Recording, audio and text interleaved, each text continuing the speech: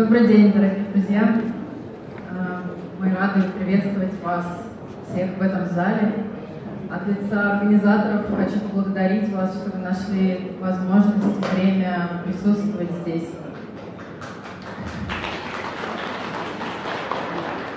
А, вам на входе раздали бланки записок, э, в которые вы можете в течение лекции писать свои вопросы и передать девочкам Костас и в конце получить на них ответы. Также я вас очень попрошу отключить мобильные телефоны. Это очень важно. Итак, я имею честь э, пригласить сюда, на эту сцену, э, уникальную личность, человека, который э, всю свою жизнь посвятил на благо других людей, человека, который более 35 лет изучает э, ведическую литературу, распространяет это знание, которое поистине меняет сердца людей. А, тема сегодняшней лекции а, «Как быть счастливым в трудные времена». Давайте поприветствуем психолога, философа, писателя, художника, носителя духовных знаний Александра Геннадьевича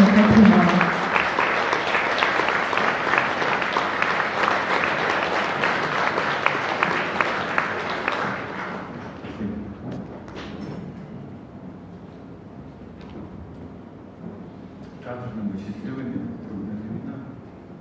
Это еще не самые трудные времена истории. Мы знаем историю.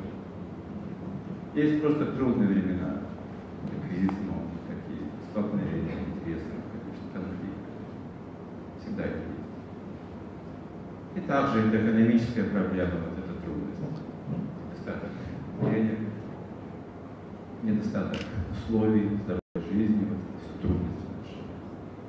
Также трудности в образовании, может быть, в культуре, что брак как будет не клеится, дети растут не такие, как надо, коллеги, наблюдаем, что улучшаются какие-то сферы нашей жизни. Это все наши трудности. Но есть времена, которые называются суровыми. Тяжелее. Суровое время означает, что можно терять жизнь, терять здоровье навсегда, потерять всю свою семью навсегда. Такие вот действия в случаются тоже. Не только созданы руками человека, но и стихиями природы тоже может стихийные бедствия, как землетрясение в Ташкенте или на спектакле Кирова Камня, где мы уже были в 90 году. Видели такие трагедии, да, тяжкие случаи, суровые испытания. Сейчас у нас тоже есть свои трудности. Мы ожидаем, конечно, что это пройдет. Да, это пройдет.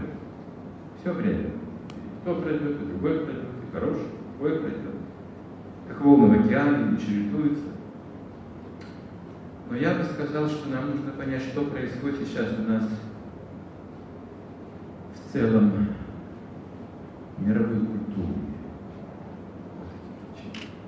Не просто исследовать какие-то свои личные интересы, личной жизни, или в жизни моего общества, в котором я живу, родился. Нужно понять целиком. Это, ну, время. Ну, требует, потому что мы сегодня говорим не об обществе, а о мировом обществе уже говорим. Не говорим просто о России или о Китае, который за своей каменной стеной китайской уже нет ограничения, такого занавеса железного, такой замкнутости. Есть тенденция к одному мировому обществу. И сегодня понятие счастья тоже будет меняться, связано с мировыми какими-то знаниями, общечеловеческими знаниями. То есть сегодня мы как бы, ну, делаем какой-то шаг дальше в развитии, если сможем. Я не гарантирую, что кто-то сможет, кто-то не сможет. Это вопрос тонкий, тонкий вопрос. Я поясню, что имею в виду, что вопрос тонкий. Человек должен стать тоньше.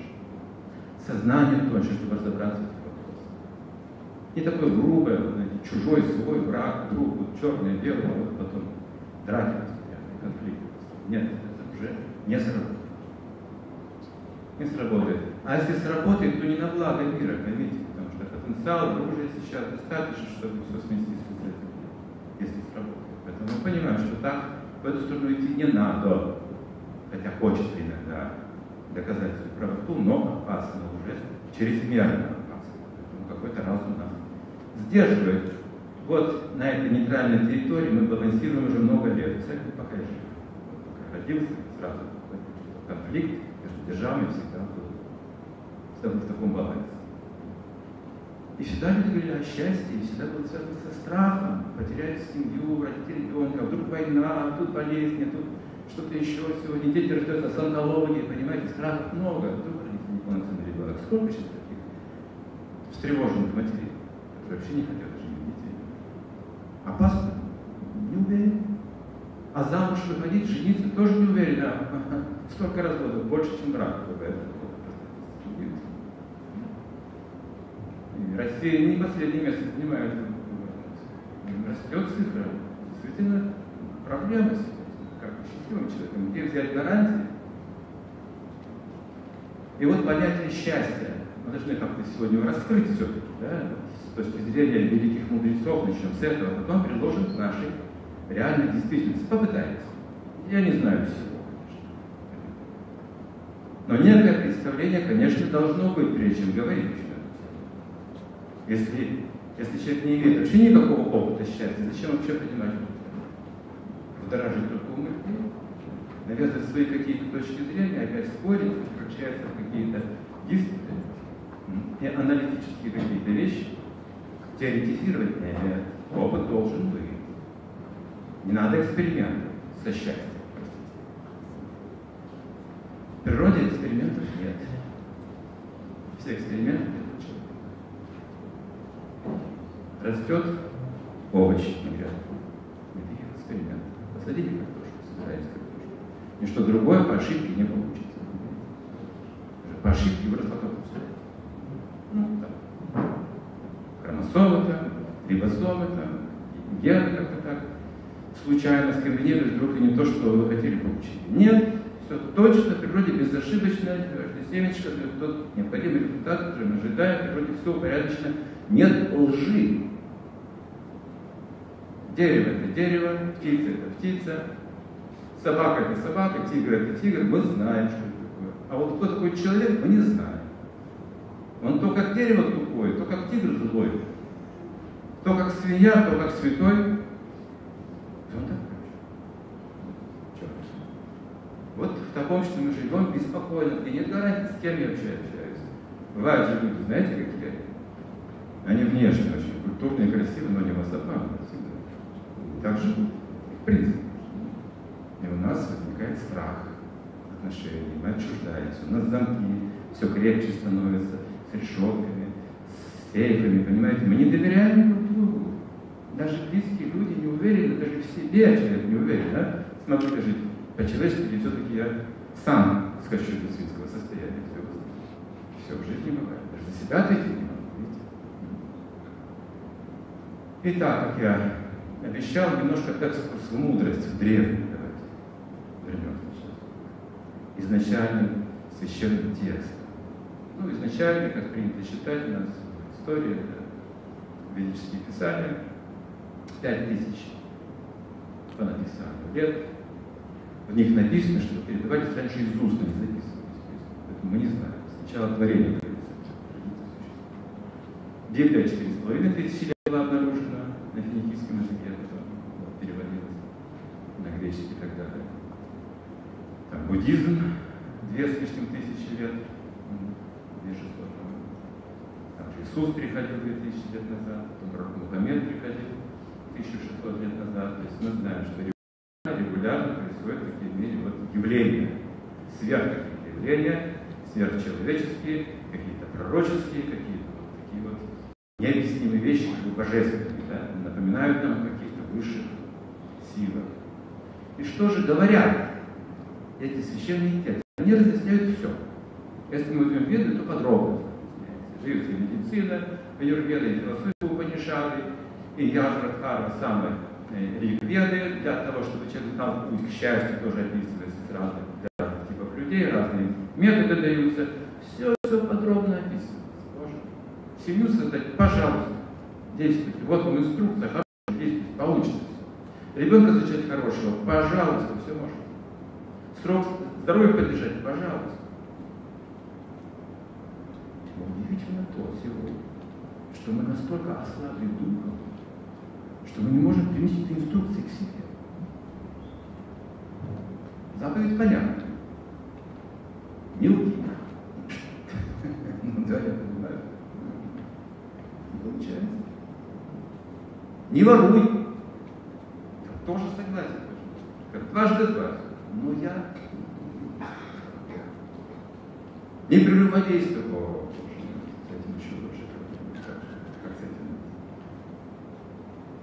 Это я просто сейчас простые известные вещи. Библейские, там, известные наши измерений духовной жизни. Мы слышали об этом что Слышали? Практически никто не выполняет эти заповеди. Ну что мы Надо на себя жаловаться. Мы не способны, потеряли силу, потеряли могущество разума своего, внутреннюю силу. И вот тут веды помогают подробно, где сила кроется. Есть грубое тело, стула шарира, так это называется. Стула шарира. Шарира это тело, стула значит грубое. Тело мы видим его. Здесь мы видим вот наши формы. Ну, с этой скульптурой мы знаем, как выглядеть, как содержать гигиену, все касается грубого тела. Наш внешний вид тоже важен, да, чтобы в обществе нужно знать культуру. В каком виде нужно представлять это тело. Это грубое тело. И в основном, что касается грубого тела, описываются его составляющие стихи для того, чтобы здоровье поддерживать. Главная цель знаний о в этом теле, физическом, это здоровье. И в целом аюрведа делит на три составляющие это тело, три доши, главные стихии, капха, пита, вата.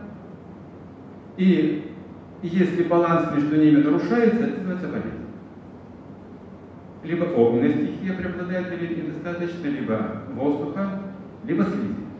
Вот три стихии тела. Слизь. Фактически мы из слизи воздуха и огня Заметили, что я передвигаюсь без скрипа покруче. Вот я делаю, ну там что-то хрустко, что-то есть, но скрипа нет, понимаете? Все смазано слизь. Ее должно достаточно. Все обрабатывается из крови, все секреты. Кровь представляет это главная жизненная сила. Воздух тоже должен быть, иначе огонь не будет гореть в теле. Достаточно воздуха должно быть. Питаться, потому что это печка, где горит огонь пищеварение. Третью часть пищи, третью часть воды, третью часть воздуха обязательно оставляйте. Вы будете сильны и здоровы. Вот простая формула, кто это делает? Все переедают. Посмотрите на себя, все переедают. Всем нужно кишечник. Посмотрите внимательно на себя. Годам 40-45, боже мой, посмотрите, что там внутри у вас. Ой, надо прочищаться, да, потому что мы переедаем недостаточно как бы, ну, обучены культуре пищи, и что наша пища, и как питаться еще. Тоже нужно знать. Это касается грубого тела. Вот простые очень принципы. Очень важно, если кто-то запомнит и будет применять, я вас, вас уверяю, вы победите много, много болезней, вообще, которые не проявятся. Иммунная система и все остальное просто будет защищено. Посмотрите, свинья, она ест все подряд, по-моему, испражнения, там такую грязь, не болит хорошее пищеварение. А? Это уже сейчас тему затронем, связано с нами тоже, почему у нас вот эти такое уязвимое тело. Маленькая нечистота нам плохо, уже нам тошнит. Даже если посмотрим уже, э, содрогаемся, что это за человек, если видите свинью, то о, какой Она не переживает, у нее грубое сознание, как тело в соответствии с грубым телом грубое сознание. Хотя Веда говорит наоборот. Если ты развиваешь грубое сознание, ты обретаешь грубое тело. Бесчувственное грубое тело. И можешь превратиться в свинью, в следующей жизни родиться свинью. И в это даже может быть. Сознание. Это называется тонкое тело, отвечающее за сознание. Значит, грубое тело – это наше здоровье, да? Мы должны знать, как питаться, отдыхать, как работать, отрегулировать вот эти вещи. А эмоции, чувства внутренние, переживания и волевые усилия, воля, мощная это внутренняя, это тонкое тело, сукшмаша. Получается два тела. Это общая картина. Если говорить о тонких телах, их много может быть. Я приведу историю с Пурана, древнего Творца Вселенной. На заре творения Брахма творил. Это Вселенная, это миры. Он изначальный Творец, хорошо. И в свое время сотворил демонов. Есть божественная натура, есть демоничная. И в материальном мире, в материальной вселенной э, должно быть то и другое, как вот этот инь-янь, черное и белое, то есть две противоположности. Тогда будет движение.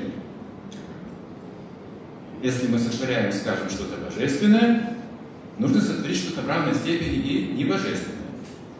Иначе божественное испортится. Оно перестанет отстаивать высшие принципы и испортится.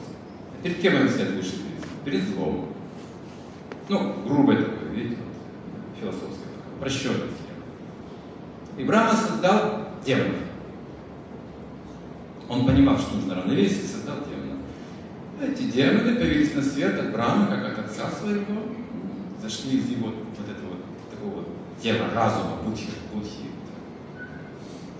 Определились вокруг и увидели Брахму самого. Подумали, о, какой привлекательный. Надо с ним совокупиться, держите. Они родились через вожделение. Они рождаются уже с этим качеством. Мы тоже рождаемся с определенными качествами. Это зависит от типа рождения, от типа зачатия, от типа родителей также. Некоторые вещи передаются по наследству, многие вещи. Сама суть. От сознания родителей зависит, какой родится ребенок.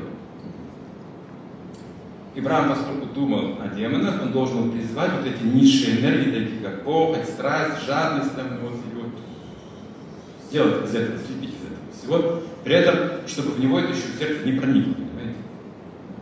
Ему это удается, он умеет. Он стал объектом похоти для своих вот своего творения. И они стали окружать его, чтобы напасть, схватить, удовлетворить свои чувства. Авраам понял. Выхода у него нет. Я оставил это тело. Перешел в другую сторону. Таким образом, Вселенная имеет много тел называется учеными измерения.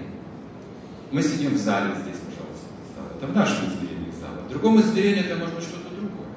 Может просто пространство космическое, может быть здесь океан сейчас э, штормит, а может быть леса, ветер сейчас дует.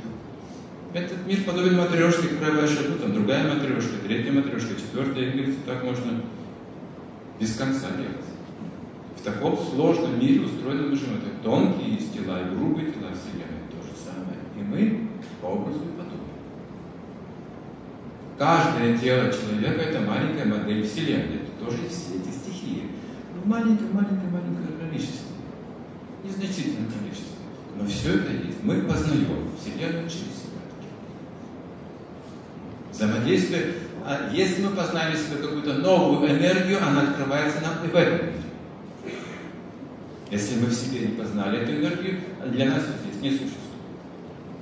Душа существует или не существует?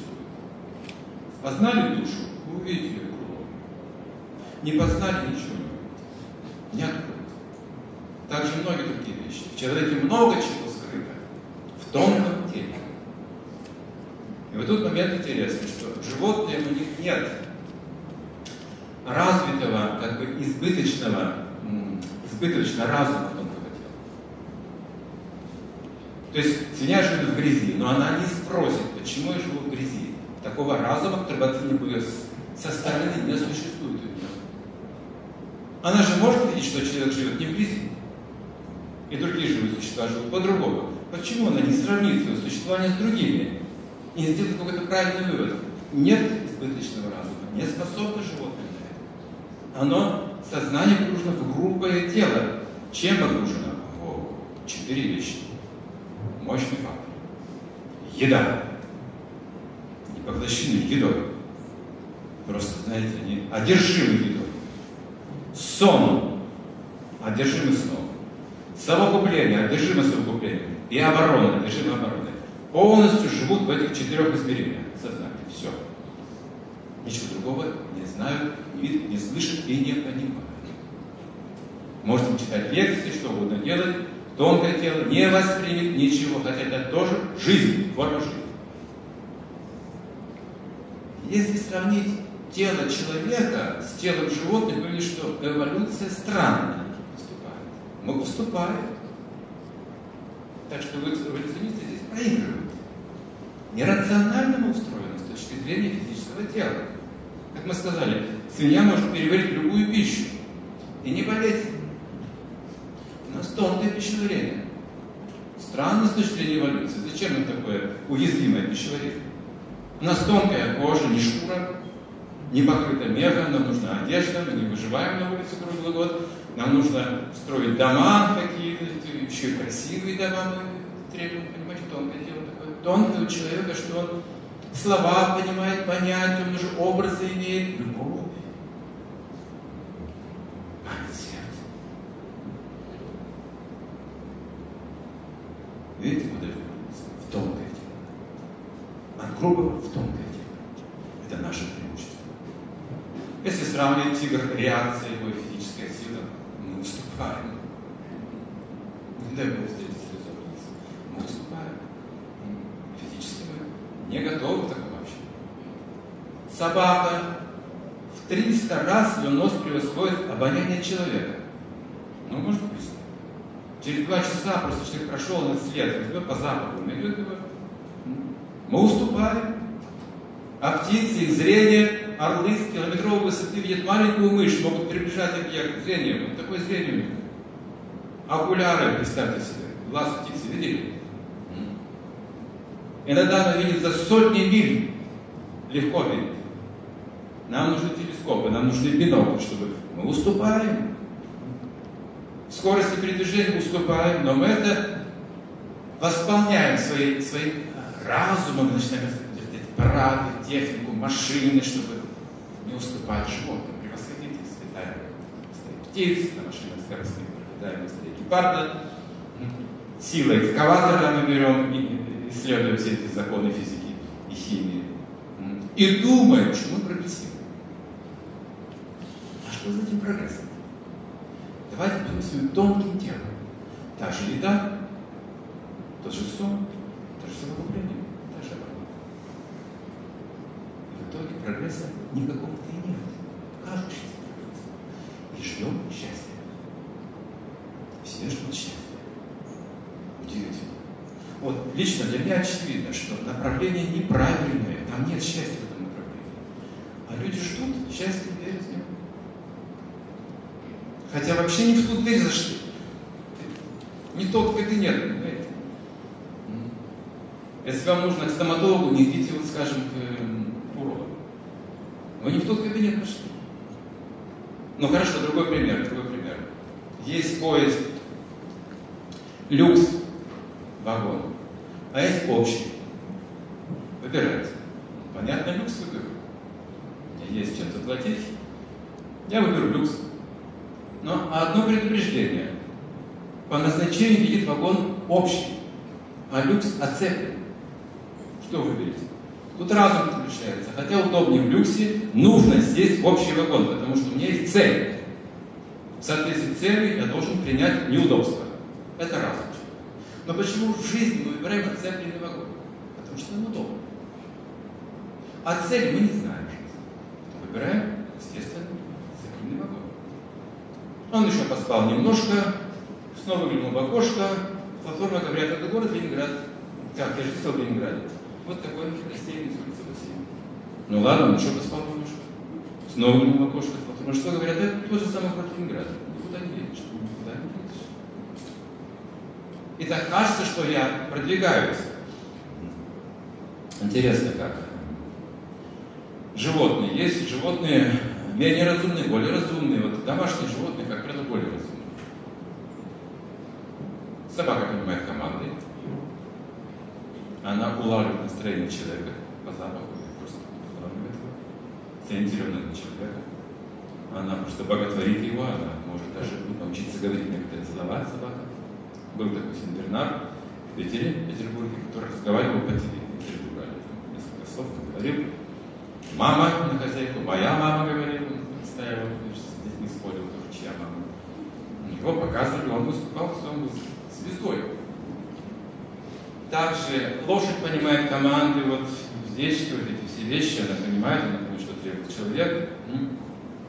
Слоны понимают до 22 команд при строительных работах. Очень сложные строительные работы можно делать при помощи слонов. Экскаватор не нужен. Быки понимают это шесть команд. Лево, право, вперед, назад. Они понимают, это на них пашут, им говорят, они делают эти вещи, не понимают человека. То есть слова слышат. А, в Индии есть один храм, насколько помню, храм Вивасвамы, поднимался воздух при восходе солнца. Но англичане потом его разобрали, этот фундамент, чтобы понять механизм, собрали снова, он больше не поднимается. Левитировал система то ли магнитов, я не знаю что, но в общем они нарушили тонкое устройство, так и не поняли, как это работает. Вот он огромный гигантский храм, древний очень, там больших глыб каменных на огромную высоту. Там лестницы, такие скульптуры, такие какие-то мифические животные гигантские. Такой храм фантастический. И вот группа паломников спросила у местного пуджари, а вы не знаете, не скажете, как строили, это же очень давно, до современной эпохи, это было в древности, как технически строили такие храмы огромных камней, глыб. Он говорит, посмотрите, вот, видите вот эти мифические животные, каменные своя. При их помощи сейчас их нет таких животных. Это были практически разумные существа. Им просто обещали, что из скульптуры их изваяния сделают здесь около этого храма, и они Все просто. Вернулся сказки заливает тонкому нашему телу. Да? Пользуйтесь нашей доверчивостью, да? детской. Мы много обычно не знаем. Я почитал, что в древних Пуранах, что во Вселенной 8 миллионов 400 тысяч форм жизни. 8 миллионов 400 тысяч форм. Такая цифра дается. И там прям разбивается, сколько миллионов там водоплавающих, сколько земноводных, сколько растений и прочее. И людей 400 тысяч форм видов. У нас на Земле несколько десятков, ну, десятки, может быть, сотни разновидностей национальности, различные уровни сознания людей отличаются по виду, по восприятию жизни. Вообще говорится, каждый человек отличается от другого типом ума и ощущений. Поэтому мы не все понимаем друг друга, когда общаемся. Нужно найти подходящую половину, чтобы просто услышать друг друга и почувствовать, что другой чувствует, как общаться. Век Кали сегодняшняя проблема в том, что если вы не согласны с моим мнением, я не знаю, как с вами общаться вообще. Ответа не нахожу. Век Кали мы не находим ответа. Если разные мнения, все, практически вражда начинается. Вы не со, со мной не согласны? Да вы глупец. А кто еще? Если вы со мной согласны с моим мнением. Знаете, я прав. Я читал, я думаю, я чувствую. Это все правильно, то, что вы чувствуете. То, что пища для одного правильно, для другого я. Мы живем в мире относительно. А счастье понятие не относительное, это лишь вопрос вкуса. А счастье общее понятие. Вот до этого мы, конечно, не добрались. Лишь добираемся, пытаемся просто хотя бы даже голову поднять. Это как опасно, да? Ведь я же не увижу перед собой своей личной жизни тогда. Неужели мне нужно оторваться от личной жизни, да, Риск. Вот надо отрываться от чувства собственности. Хорошо. Итак, тонкое тело человека. В основном зависит от речи. Взаимодействует с речью со звуком. Вибрация звука. Можем вызвать в тонком теле гнев словами, Злые слова привести к смерти. Такая сила речи.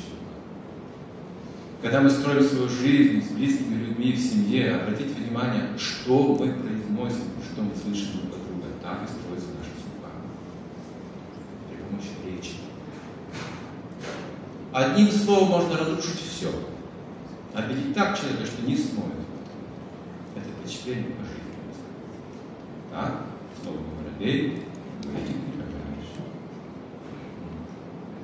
Это говорится, то есть есть сила слова. Особенно от близкого человека, если мы слышим слова предательства. Это хуже говорится физической боли. Физическую боль нужно успокоить, это какое-то снотворное, не знаю, там обезболивающее, но это ни днем, ни ночью, вы не очень занозой сердцем, с ума сходите. Вы в клинику потом ложитесь, просто потому что вы услышали. И наоборот.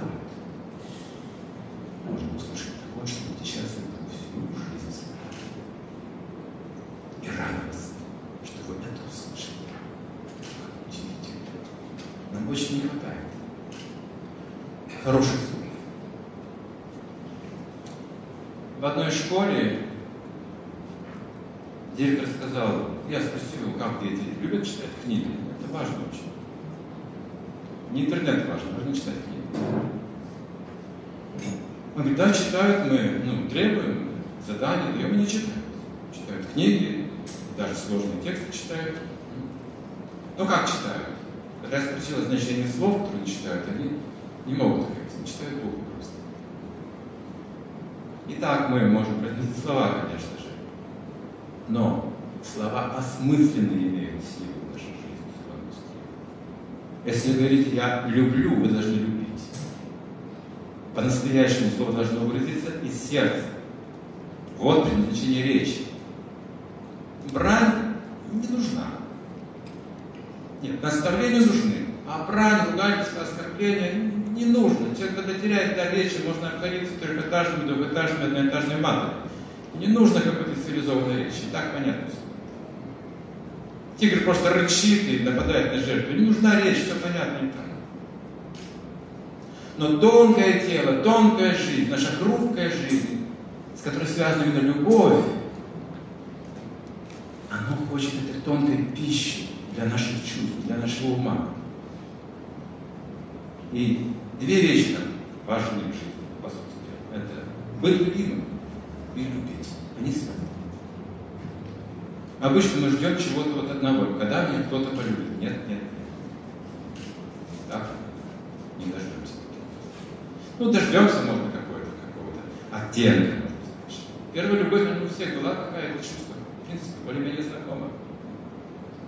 Но чтобы обрести любовь на, на, на всю жизнь, которая будет поддерживаться словами, поведением, отношениями, это редко. Дороги, по которым не ходят за свадьбу. Ну, часто мы говорим о любви. Нужна квалификация. Ну, сказал, я тебя люблю, а дальше что? Иди работай. Ну все, теперь в каму. Поддерживай свои будни, дети рождаться, и теперь ты рабочий бог просто, ну все. Нет, этого недостаточно. Мужчина будет смотреть на кого-то еще тогда. Потому что ему нужно получать эту пищу. Каждому, не только мужчине, женщине тоже. Нужно всю жизнь получать пищу, особенно женщина. Так описывается в древними, что женщина поддерживается только любовью, ничем другим. Вы не заставите ее ничего делать, пока она не полюбит. Она ленива по своей природе и неисправима по своей природе, пока не полюбит. А когда полюбит, она сделает горы свернет. Она очень могущественна. С другой стороны, ну ничего невозможно заставить ее сделать, если она не хочет. Неисправимое существо. Поэтому рекомендовано в детстве ее любит отец. И не просто любит, а должна от него получать такое чувство особое от отца. Какое? Написано. Ты для меня лучшая в мире. Вот что должна сказать отца по-настоящему. Вот как он любит. Это девочка. Отец для нее Бог. При такой любви она научится очень Тонкое тело связано любовью, поймите, и все, что чувство переживает взрослый, нужно передать с любовью, только через любовь этому потом. Это называется самскара, впечатление, просто песню спеть можно, понимаете, рассказать что-то, не то что дать математику, что потом придет само по себе, там, по способностям. А вот впечатление глубокое дать, отношение, счастье, любви, через любовь можно передать весь свой опыт внутреннего тонкого вот этого мироощущения. И мы знаем, что в школе, если педагог ну, близок нам, по сердцу, мы сразу быстро воспринимаем свой предмет, легко, потому что есть вера в него, в то, что он говорит. Нет препятствий. Также ребенок смотрит на отца, на мать, как на Бога, и он что? Он сразу начинает говорить сам, его не надо учить. Видите, как все легко, если есть любовь. Пхава. Собака тот же самый пример. Она привязана к хозяину, для нее это Бог. Она абсолютно верит ему. Пожалуйста, команда, она прыгает туда, барьеры берет, там что еще, йогой занимается. Да, на Западе с клуба йоги. Занимаются с хозяином. Собаки, пожалуйста, сердцебиение замедляют. Кстати, собака пульс замедляет сюда. Научилась. Хозяин делает, она делает. Пожалуйста. Я в Финляндии, ставил магазины для собак, парикмахерские для собак. Магазин мне собака обслуживала, допустим. Я не шучу. И была одет, все у него такой. Галстук, бантик, горошек. Прическа была вот такая финский магазин красок, я, ну, я как художник пошел. Ну, там были хозяйственные краски, не то, что я искал. Хозяйка занималась на кассе, что-то считала, ко мне подошла собака. Остановилась, смотрела в глаза. Да, я сразу понял без слов. Я был нерешительно, не знал, что делать. Она посмотрела туда, на мой взгляд, что посмотрела, сказала туда. Нет, может быть, туда. Я поддался этому чувству ее вежливости и пошел туда. Не надо. И там, где останавливался, как эта банка с краской, она останавливалась тоже и смотрела эту банку красок на меня и ждала. Она меня обслуживала. Она научилась хозяйке. Вы видите, чтобы собаки сами по себе бы добрали до барьера, обслуживали людей в магазинах. Нет, ради кого-то она становится уже прогрессирует. Вот в чем прогресс. Она общается с тем, кто более глубоко имеет тонкое тело и разум ощущений. Она это перенимает, тонкое тело у нее тоже есть. Что за погода? А какая-то простая была маленькая такая вот, ну типа фокстерьера. А. И так называется пхава, любовь. Девочку любит отец. В юности муж говорит ей то же самое. Ты для меня лучшая в мире, должна это знать. Это важно для ее природы. Не для ее эгоизма, а для ее, она в этом находит прибежище и силу. Знаете, женщины сильнее мужчины, если есть. Хозяйка в этом мире именно женщина. Мужчины другие задачи. За, за пределами мира находится его цель. Мужчина. За пределами мира. В этом мире хозяйка женщина. Если у мужчины нет цели, они начинают конфликтовать с женщиной. Вот что происходит за то, кто в доме хозяин. А это не нужно делать. Это лишние, бессмысленные усилия. Природа сама распределила, что разум мужчины направлен на освобождение, а разум женщины направлен на устройство этого мира, на гармонизацию этого мира. Так они союзничают. Поэтому муж говорит, для меня самая лучшая в мире, моя лучшая половина, вдохновляющая сила, поддерживающая сила и так далее. Она чувствительна предвидит события, может исцелять, заботиться о репутации мужа. То есть она награждена очень тонким-тонким восприятием мира. Как пальцы говорится, если целомудренно. Если она думает о других мужчинах, она утрачивает это качество. Уже, скажем, проститутка не имеет качества. Нет, ноль. И в старости она также дорога своим детям. На всех этапах жизни женщина подвищена. Никакой эмансипации. Плохая вещь для тонкого тела. Эмансипация отличает один человек нашел, таракана. В Индии вот такие тараканы вышли. Видите, будете в шоке. Жуткое дело. Ну, они не, выглядят страшно. А на самом деле вот можно взять руками и выбросить. Этот человек взял таракана, открыл форточку и сказал, теперь даю тебе весь мир. Свободу. Кому нужна такая свобода? Называется эмансипация. Нам нужно прибежище свобода нужна, но нужно также прибежище. Если жизнь без прибежища, абсолютная свобода, мы несчастны. Нет прибежища. Прибежище – это семья в нашем мире, общество, наши отношения, наша любовь, в конце.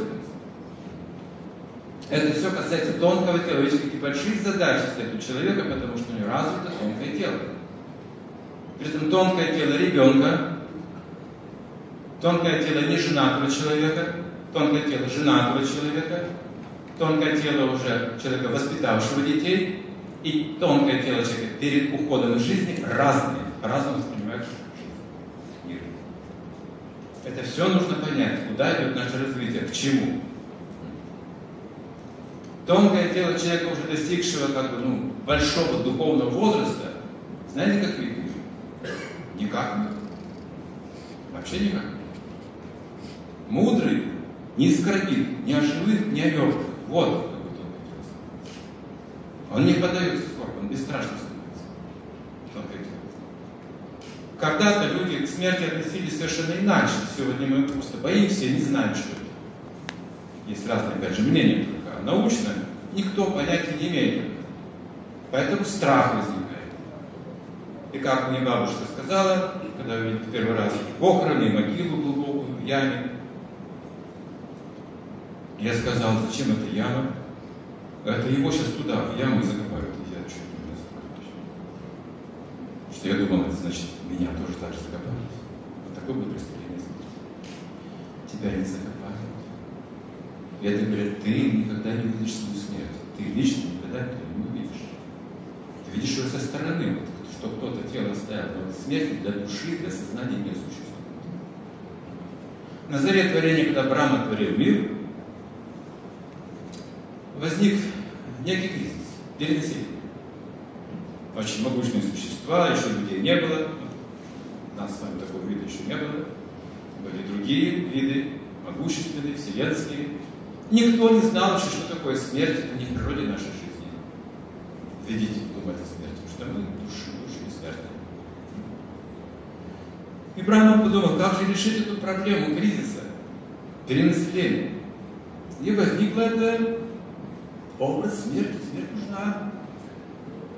Иные миры нужны, еще другие измерения, нужно их развивать, выполнять. И когда он так подумал, Творец, из его тела изошла, вышла прекрасная женщина в красном. Украшенная красной гирляндой. Она счастливо улыбалась. Сказала, Отец, каково мое предназначение в этом прекрасном мире? Она не ожидала, что услышит. Отец ей сказал, ты станешь смертью. Зарыдала тоже женщина. Такую тяжкую, суровую участь для меня. Почему? Ведь мне же придется разлучать близких людей. Родителей детей. Страшно. Меня же проклянет любое живое существо. Что за участь мне подготовил Отец? Эти слезы лились из ее глаз, но Брама не позволил ни одной слезинки упасть на землю, собрал все ладони. Сказал, твое сострадание тебе наследие. Никто тебя проклинать не будет. Твои слезы станут болезнями, несчастными случаями, ранениями. Люди будут думать, что смерть наступила из-за болезни, из-за смертельной раны, несчастного случая. Никто тебя не увидит. Не бойся. Но ты должна свою И первый умерший во Вселенной был, знаете, кто это? Имя записано. Первый умерший во Вселенной – это Бог смерти, Ямарач. Он управляет в мире. Говорится, что живые существа, покинувшие это тело, станут перед ним, как суд Божий. Он возглавляет это все. Не все лично его увидят, иногда проводники исполнят необходимую роль. Переводится тонкое тело, грубое тело разъединяется. В тонком теле живое существо переносится в следующую жизнь. Ям, яма, пис, маран, баван, таджакам, тикаеван, там. Он тияса, так, баба, баби, так. Санскрит, древний. Мысли побед смерти. Начало следующего бытия. Тонкое тело. Если мы возьмем этот принцип, ум, тонкое тело, грубое тело. Как они связаны? Посредством ума. Все, о чем вы думаете, выражается в секреции нашей крови. Составе нашей крови. Кровь формирует все остальные функции и секреции, и органы работают при помощи вот этих вот сосудов, нервов и так далее. Если наши мысли проникнуты страхом, кровь изменит свой состав, там будет определенное количество адреналина, допустим, и других веществ, которые не нужны нашей обычной жизни для покоя глубокого мышления, возбуждающие элементы химических Если человек возненавидел кого-то, яд выделяется в кровь. Ум вырабатывает яд в кровь. Трансформация, синтез химический. Если влюбляется человек, тоже известно мне, химики сказали формулу любви в крови влюбленного человека. С8H12 азот. Это наркотик. Химический наркотик. Вырабатывает влюбленный человек сам по себе. Он счастлив становится. То есть, если мы любим, нам не нужны интоксикации. Потому что любая интоксикация она искусственна. Я не люблю, но я искусственно ввожу или выпиваю определенную дозу алкоголя или наркотика. Искусственно вызываю в себе это чувство счастья, которое не заслужил никак. Поймите? Я его ворую. С точки зрения судьбоносных законов кармы, я вор. Я получаю остаточные явления, реакции из этого. Рушится мое здоровье, моя память, мои отношения, моя семья, что это за любовь такая, наркотик, что рушится вся жизнь. Это хорошее чувство. После него вот этот мир просто пустой. Но да, это естественно находиться в состоянии счастья, большого счастья. Мы должны знать, как заслужить это счастье. По законам счастья В нашем случае что мы делаем? Мы хотим за, за наши плохие поступки или плохие мысли получать хорошие результаты. Ждем хороших результатов, хотя наши мысли не очищены, пища не очищена, наша деятельность не очищена, наш брак не очищен. И мы ждем хорошего результата, дорогие мои. Ну, нелогично, надо учиться. Пока не поздно еще. Мы сейчас живем в такое время, когда мир весь перестраивается. Смотрите, что мировое сообщество начинает вот, перестраиваться. К чему все придет? От нашего выбора много зависит. Как мы хотим жить? Нам сейчас не нужна какая-то национальная идея, нужна сейчас сверхнациональная идея. Всем это. Если мы хотим жить в мировом сообществе, а мы уже вынуждены жить в мировом сообществе. Поэтому сейчас, хотим или не хотим, нужна сверхнациональная идея, духовная идея, транс, трансцендентная надматериальное знание. Вот сейчас в таком кругу подходим с вами. И мы говорим, что сейчас духовное знание в России, во случае, распространяется как пожар просто. Люди сейчас стремятся, ну, читают, слушают, учатся, да, да, да, потому что нам дорого еще пока наши семьи, наши дети, наше будущее. Ну и в России не знаю почему сложилось так, что, наверное, пока лидируем как я понимаю. Похоже, что мы в этом плане лидируем, наверное, в этом как бы наша главная роль есть. Сейчас я расскажу немножко с точки зрения любви разных измерений. Измерения жизни. Различные типы чувств, глубина чувств, это различные измерения жизни. Вот эта жизнь перед нами как есть. Мое восприятие ее глубины зависит от моего тонкого тела, развитого или нет. Если я буду развивать эти отношения, любви и доверия, я увижу мир по-другому, еще по-другому и еще глубже, вплоть до полного освобождения от всех проблем. Полного. Это цель. Цель человеческого разума прийти полному освобождению от всех проблем и несчастий. Всех их включая. Включая рождение, старость, болезни и смерть. Включая не только здоровье, не только денег, экономики, не только личной жизни, но и духовные тоже задачи решаются. Мы знаем, что любовь сильнее смерти. Любящий не боится смерти. Она побеждает всех, кроме вот тех, кто обрел любовь к Богу. Эти люди абсолютно не страшны. Они знают, что смерти не существует. Наджая Демрият Макада Чин. Это древний текст. Много подтверждений. Для души не существует ни рождения, ни смерти. А тут Адвитиена Сарвамаданда, там то, что пронизывает все тело, сознание, бессмертно говорится. Не умирает никогда. А тело умирает каждую секунду при обмене веществ. Постоянно идет процесс разложения, пока мы живы, восстановления, когда жизнь превращается только разложение. Нет больше силы восстановить, жизненная сила уходит. Тогда разложение наступает. Оно разлагается сейчас. Но пока жизненная сила, она называется обмен веществ, смена тела, циркуляция клеток, триллион операций в секунду, пока мы сидим здесь, тут такие процессы проходят. Мы даже не думаем об этом. Мы живем по другой, по другим законам.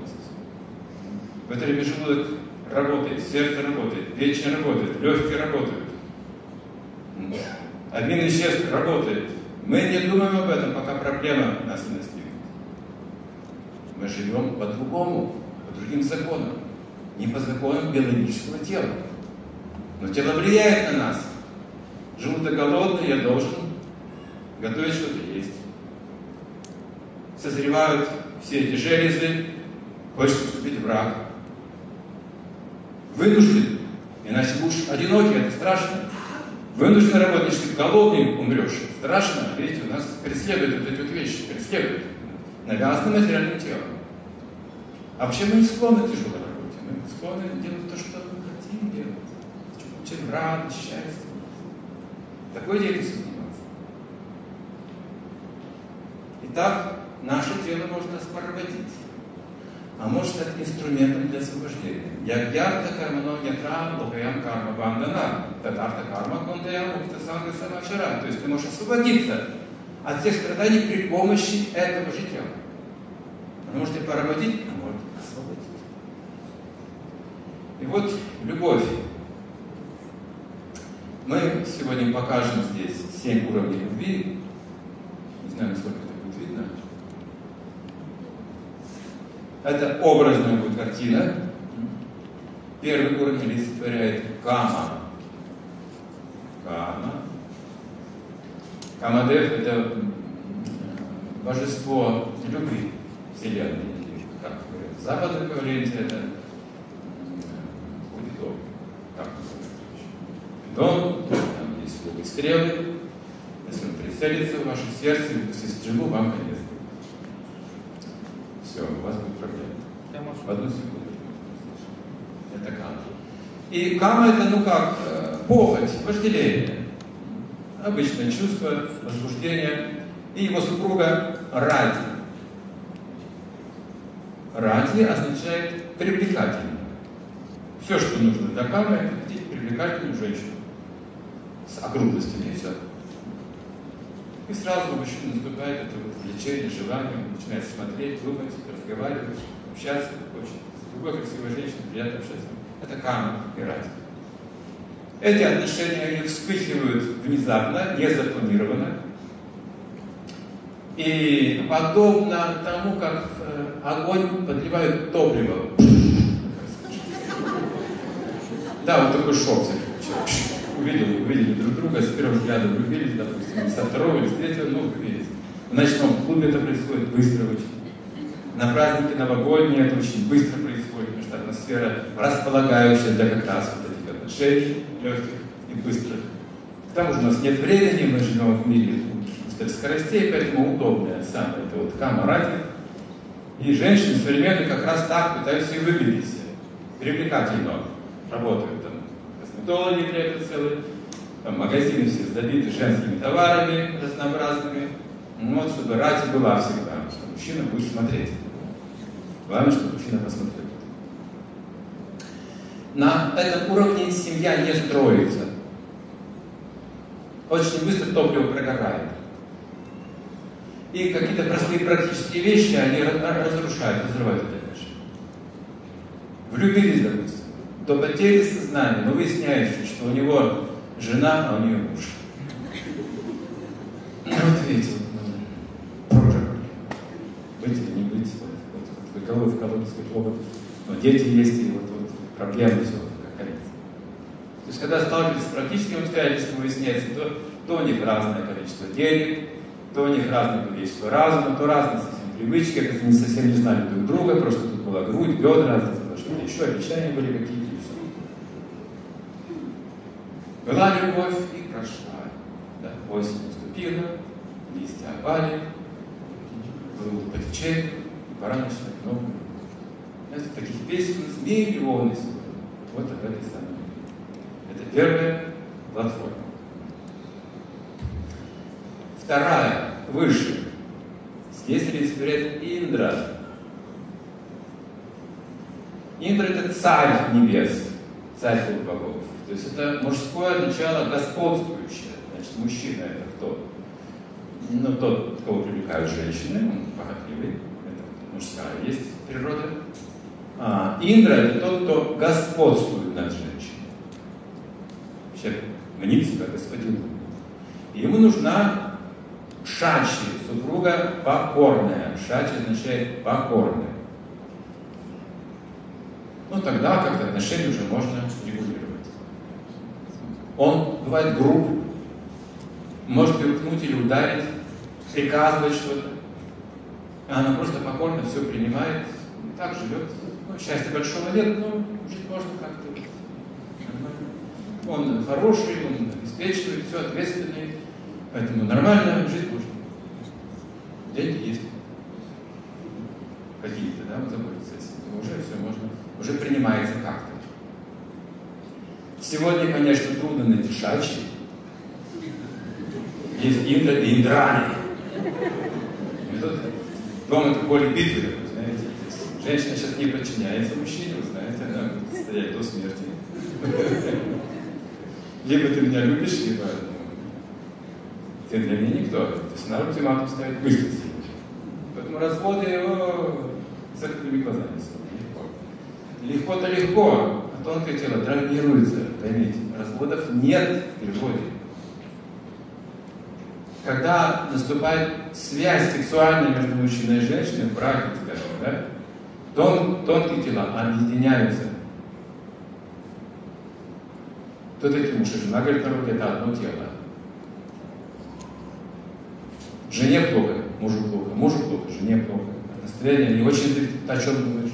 А сейчас куда смотришь? Они постоянно вмешиваются друга, контролируют друг друга. Это одно тело говорится. Какой развод? Если вы бросили одну жену, женились на другой, у вас две жены, не развод. У вас в тонком теле две жены осталось. А про женщину говорите еще, еще острее, что у нее шанс быть счастливой в этой жизни только один силы глубины, особенного, особой природы, она не может дважды отдать сердце одинаково. Только один раз. Второй раз уже это сделать не сможет. Это формальность Ну, жить можно. Но мы говорим сейчас о счастье, о любви, совсем на другую тему. Не то, чтобы как-то жить или выжить, а мы говорим сейчас о золотом стандарте. Поэтому не переживайте. Выход найдем. Я знаю, что Итак, Шачи Индра. Третий уровень олицетворяет Ямарадж, вот этот самый а, бог смерти, а его супруга Ями. Ями. Видите, даже имена похожи. Это редкое в нашей жизни, редкое явление. Именно об этом пишут классики свои книги. Как Лев Толстой писал Анна Каренина, Достоевский писал «Идиот», как кто-то написал «Гранатовый браслет», а Шекспир написал «Ромео Джульетта», и все это классика. Почему? А вот там такая любовь. Настолько сильные чувства, самые сильные чувства. На любом расстоянии люди все чувствуют. Настроение. Если один умирает, на расстоянии другой умирает. Даже не не, не живут друг без друга, невозможно. Есть такая песня, я слышал песню талантливых певцов, он там даже повороте пел что-то вместе. Если до этого они пели стадион какой-то, они пели с большим чувством. Большая, слишком большая любовь убьет тебя. Она приведет к смерти. Как Анну Каренину, как Анастасию Филипповну вы идете. Это слишком, это очень трудно уже уместить в наше сознание. Она способна разрушить все вокруг. Это опаснее любой наркомании. Такая сила и если люди встречаются на этом уровне без помех, означает, что они это заслужили каким-то очень-очень благочестивой деятельностью в прошлом. В прошлой жизни, в этой жизни. Человек достать такой любви безоблачной. Значит, он сделал какую-то, какую-то жертву великую в прошлом совершил. Редкую какую-то вещь Какой-то подвиг. Он просто получает это так. С одной стороны, это да, с другой стороны, это полное ослепление. Полное ослепление. Но уровне этой любви все равно работают чувства, понимаете? Обычные чувства. Касание, обоняние, зрение, мысли, обожествление. Это тоже очень хрупкая вещь. Если ее не поддерживать, а благословение в том, что это нужно научиться поддерживать знанием, если это в невежестве, то представьте, какое будет разочарование. У одного купца было четыре жены. И первый он любил больше всех. Настолько, что он ну, никогда с ним не расставался, как бы сутки ни ночью. Он кормил, одевал, когда на нее смотрел, всем всегда показывал, ни секунды разлуки Вторую тоже любил, но боялся, что глаз кто-то со стороны и держал заперти ее. Потому что она более была привлекательна для них. Третью жену он скорее уважал. Особо любви не чувствовал, но уважал и позволял жить своей жизнью, как она хочет, но когда необходимо, она была как верный друг всегда рядом. А четвертую жену как-то он упустил из виду и даже забыл, как зовут. Она стала как прислуга, незаметной, просто не обращал на внимания.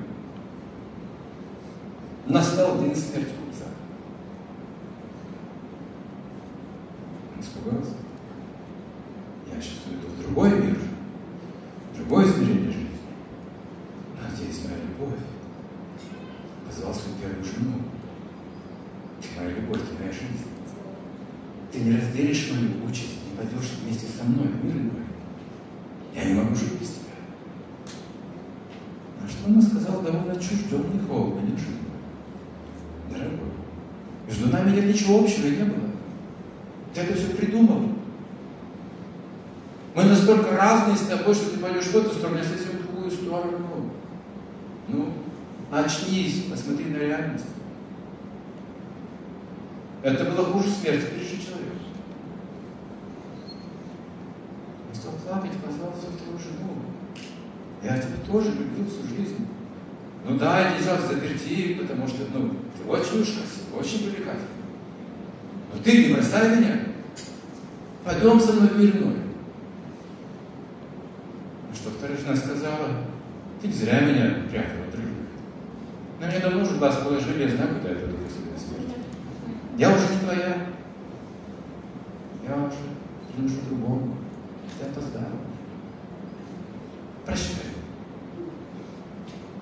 Несчастный был готов умереть, раньше времени.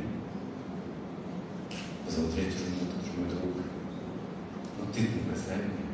Да, я твой друг, и я все сделал, я помню твои похоронные обряды. Но у меня же своя жизнь, понимаешь, ты дал мне свободу. Ты должен понять, ты же разумный, взрослый человек. Поэтому прости. Я сейчас гораздо глубокое слово услышал тихий голос Симондона. Я пойду с тобой. Ты кто? Я твоя четвертая жена. Я всегда буду рядом с тобой, потому что ты. Я не собираюсь никуда уходить. Я твой самый близкий друг. Так вот, кого мне нужно было любить, сказал человек. Вот, вот на кого нужно было смотреть. Вот о ком нужно было думать. Что это за история? Это аллегория. Надо держать четыре зуба. Первая жена. Это тело человека. Стужа. Он им дорожит больше всего, никогда с ним не расстается ни днем, ни ночью, кормит, одевает и смотрит глаз на телевизор. Показывает. На улицу, как на выставку. Наше тело очень дорого нам. Правда? Очень трудно оставлять это тело. Даже на языком говорится, очень трудно расстаться с этим телом физическим воплощением. Но в момент смерти ничего общего не обнаруживается. Тело в землю или в огонь, душа в другую сторону. Ничего общего и не было. Как больно. Вторая жена – это наше богатство, наши деньги, золото, наши сбережения. Мы их держим в заперти, мало ли кто глаз положит, верно? И после нашей смерти. С собой не возьмем. В этой жизни могу заработать миллионы долларов, в следующей жизни не могу снять ни доллара, ни рубля с того счета. Это же мои, я в прошлой жизни заработал, понимаете? Я помню. Я милицию, милицию вызвать и все. Третья жена, наши друзья, родственники, которые готовы всегда помогать, их называют временными воинами в Куране. Они помогают, пока мы вот, ну, сами живы, пока они сами живы. Так во всем. Мать молится за ребенка, делает все угодно, но ребенок может все равно умереть в болезни.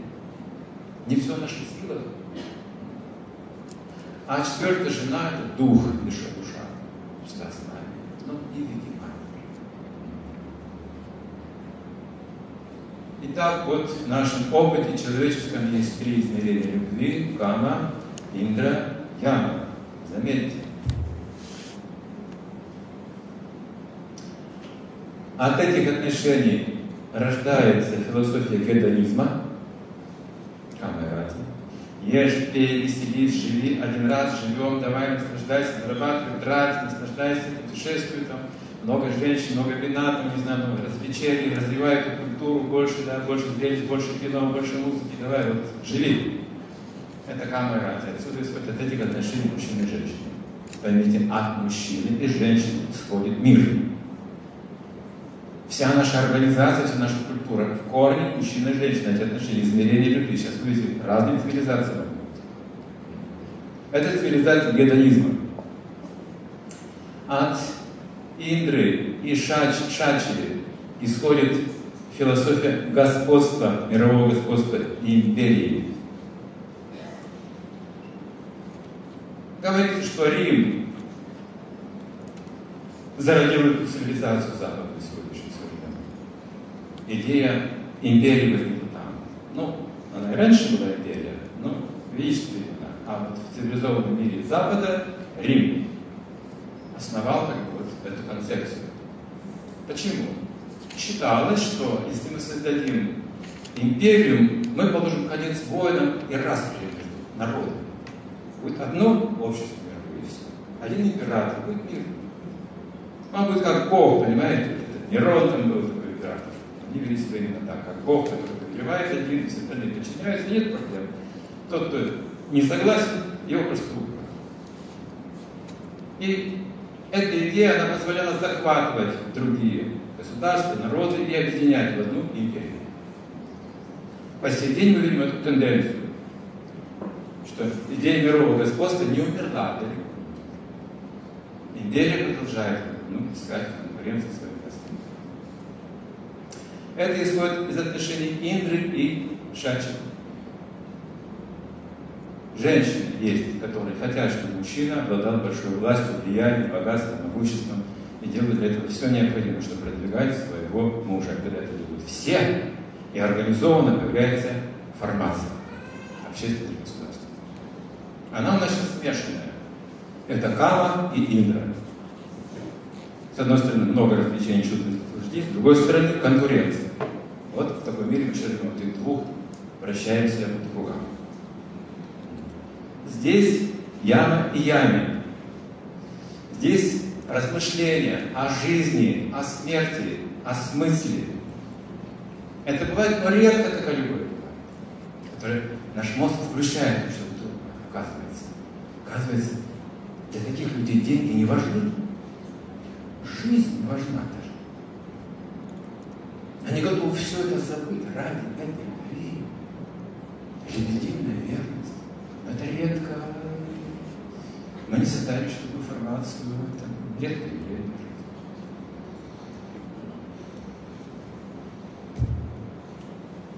Дальше выходит, может быть, немножко за пределы нашего опыта, но какие-то элементы будут знакомы.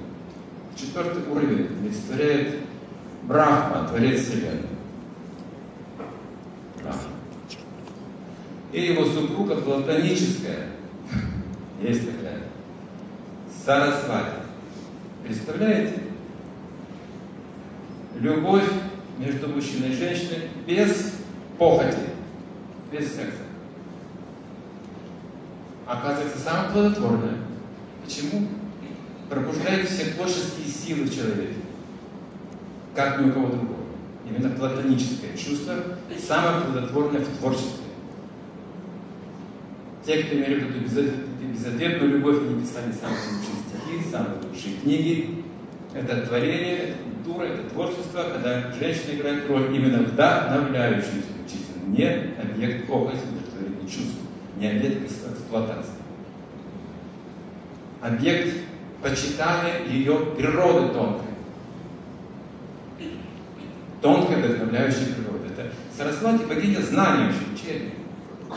Таким образом, общаясь на этом уровне, возникают откровения, философские откровения, откровения, духовные откровения, обнаружение новых измерений существования в жизни, открытий. Это удивительное отношение. Если такие отношения случаются, скажем, если есть а, Юрий Цезарь рядом Клеопатра, если Леонардо да Винчи был девственником, знаем, гений мы сегодня, то с кем он общался, кто вдохновлял? Джакомо, с которым не расставался, с этим образом, с этой картиной всю жизнь. 22 слоя написано. Постоянно медитировал на этот образ, на который сейчас смотрят миллиарды людей. Считается непревзойденным произведением. Это некоторые элементы этой платформы, некоторые не раскрыты полностью. Потому что это уже не совсем от человека идет. Это скрытые возможности человека. Пятый уровень олицетворяет Шива, идем выше, его супруга Парвати. Парвати.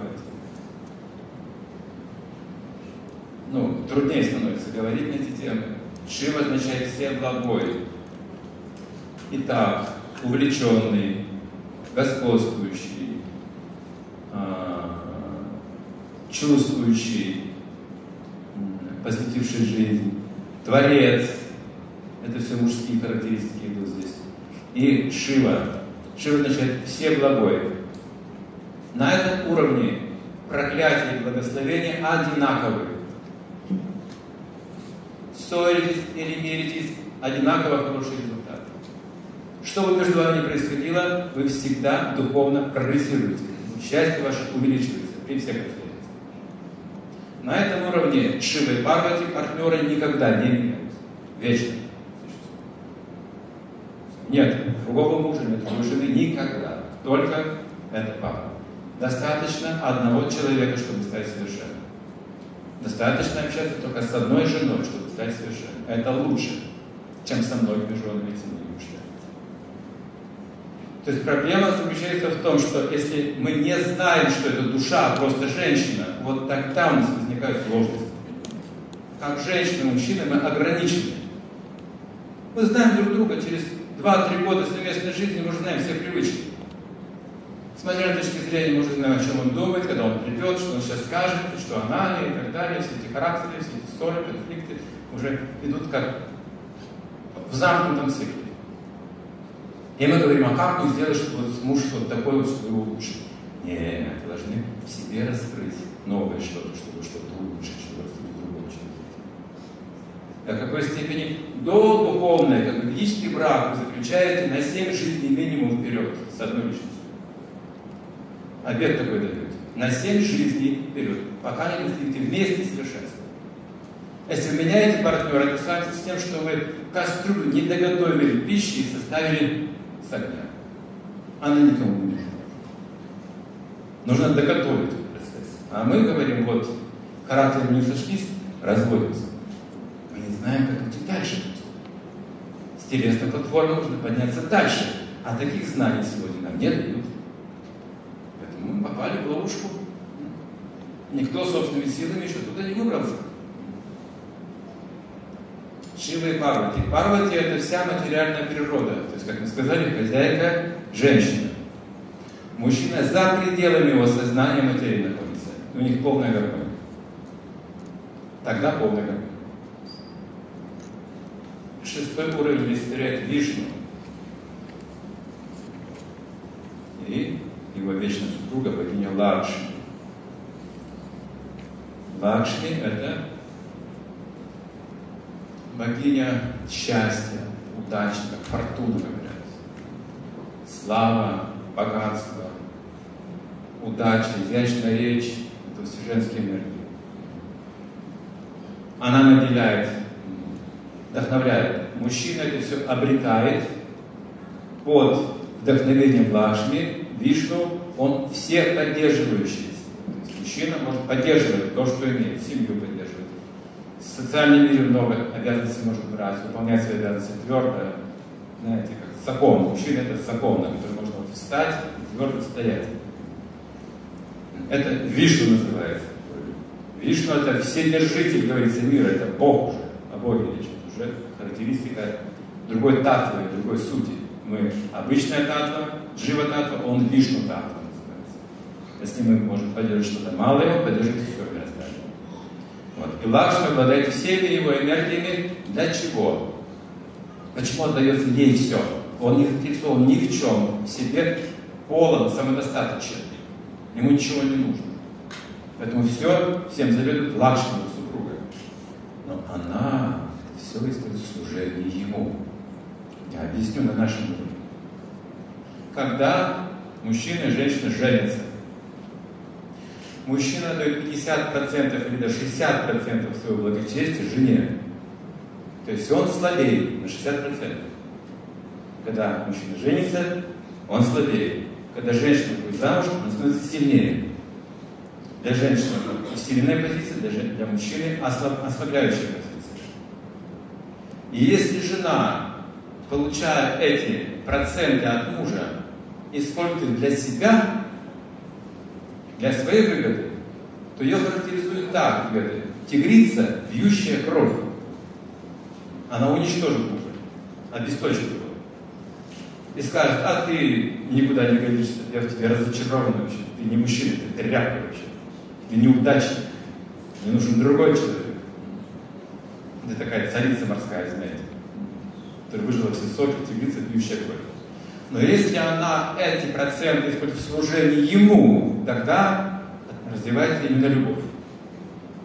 То есть это можно отметить, что любовь развивается через служение. Вот нет любви, где ее взять? Вот ответ.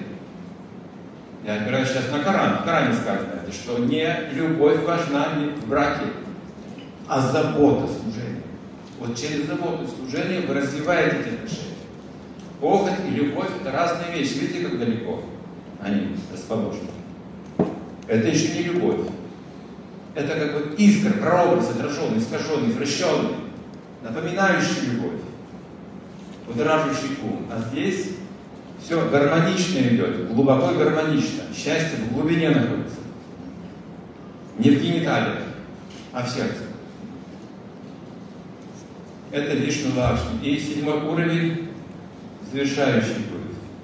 Кришна олицетворяет и супруга его Радха.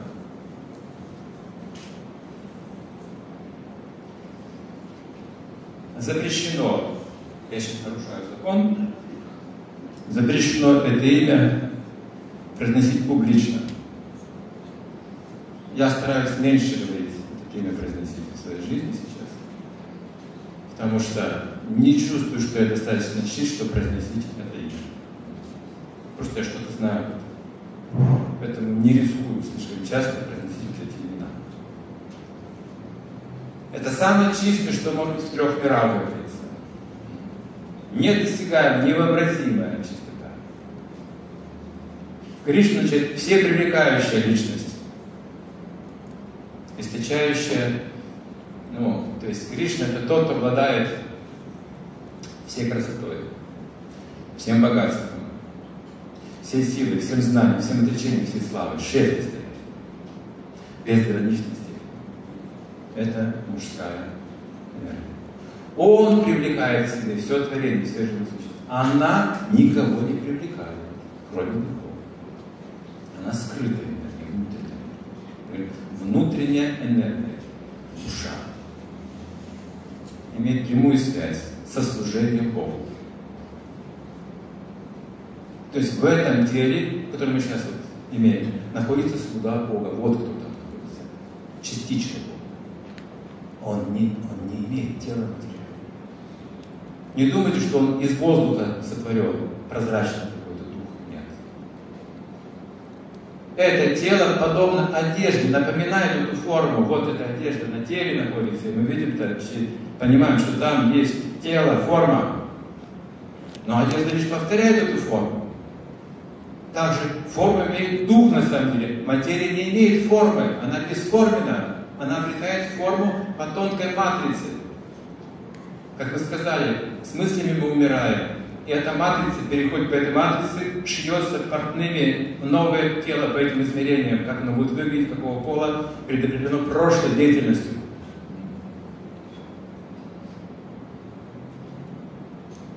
И мы не видим тонкое тело. Но живем мы в тонком теле. Теле называется Майя или Мандушья. Манду. Что означает человек? В уме живет. Он живет в уме, не просто в теле. Все делает сначала ум у него. Он живет своими фантазиями, планами, воображениями. Он все там придумывает, он все придумывает, гипот, гипотезы всевозможные, проекты всевозможные. Он живет в уме. Если мы сидим в самолете и вот видим спинку креста два часа, мы с ума сойдем. Потом нам телевизор там, и иллюминатор там, и стюардесса подойдет несколько раз, мы и выйдем туда, и зайдем сюда. Ум не дает Когда мы влюбляемся, ум придумывает этот образ, а потом разочаровывается. Вся проблема это горе от ума, говорится у человека. Поэтому вся суть йоги или образа жизни нашего – совладать с умом, направить его в верное направление, чтобы он нас не обманул. И главный объект обмана для мужчины – это женщина. Увидел, и все. И масло потекло рядом с огнем. Было твердо, Потекло прямо, прямо в огонь, и разгорелось, и пожар начинается. Заметьте, сейчас очень много страсти в наших отношениях. Век Кали, нынешний век предопределено пророческими писаниями, что брак будет основываться исключительно на сексуальной основе. Исключительно на сексуальной основе. То есть брак проклят. Не на основе каких-то династий, понимаете, каких-то вот э, возвышенных целей, передачи знания потомкам, там, скажем, духовного наследия, нет, только деньги передаем и сексуальное наследие. Деньги, секс, деньги, секс, деньги, секс. Это вот нынешнее время, сегодня так. На этом уровне счастье кратковременно. Оно вначале подобно меду, в конце яду. Поэтому, хотя мы все с вами имеем или имели, мы все же как-то не очень удовлетворены, мы ищем чего-то большего, чего-то большего, потому что мы-то души, не тела. Нам нужно много счастья. И не просто любовь, а очень большая любовь, всепоглощающая. Самая поглощающая любовь – это любовь к Богу, которая гармонизирует все наши отношения в этом мире. Я могу уверить в одной вещи. Все, что вы сейчас имеете, достаточно счастья. С этим нужно просто знать, как жить. Достаточно и первое, что, от чего нужно отказаться, чтобы вступить в эту сферу счастья, это от ложных притязаний, от чувства ложного престижа и ложной собственности. Я не мое, от эгоизма. Если жизнь характера, не это нужно писать. Нужно писать, я эгоист, я никогда не уступлю ей. И она пишет, я эгоист такая же, никогда до смерти не уступлю ему. Вот причина этого. Не сочтись характер, чтобы придумать. Давайте берем текст. Зачем вы скрываете правду? Так, мы никогда не построим новую жизнь, правильно? Если мы начинаем новую жизнь, нужно построить. И мы делаем то же самое с тем же эгоизмом. Ищем просто подходящего человека, который будет выполнять все наши желания, прощать нам все, да, механизм какой-то ищем. Искусственную женщину нам нужно сейчас. Искусственного партнера или нанятого на, на, на два часа и пошел все. Что, удовлетворили достаточно? А как же семьи, а как воспитание детей, а как все вот эти традиции, как династии, как передача ценностей духовных, где они все? Вот что мы теряем. А говорим о счастье.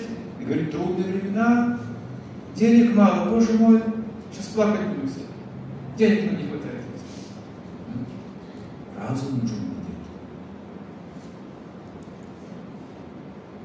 Когда-то мне мой друг по молодости еще оставил мне мридангу на хранение. И на неделю уезжаю, вот тебе мриданга, она была самодельный этот инструмент, барабан такой, двойной, низкой мембраны, высокой мембраны. Он сделал из эпоксидной смолы, вылил его, мембраны были настоящие. Вот такой инструмент, супер И тогда неделю уеду, я тебя оставлю, а я жить в студенческом живу. Ой, я обрадовался, я давно мечтал поиграть в этом рядах, там, вообще. Он ехал на неделю, я там устроил, там устроили бинго со студентами, там играли, пели. И... Мне очень понравился этот инструмент, такой А он через неделю вернулся и говорит, я забираю инструмент.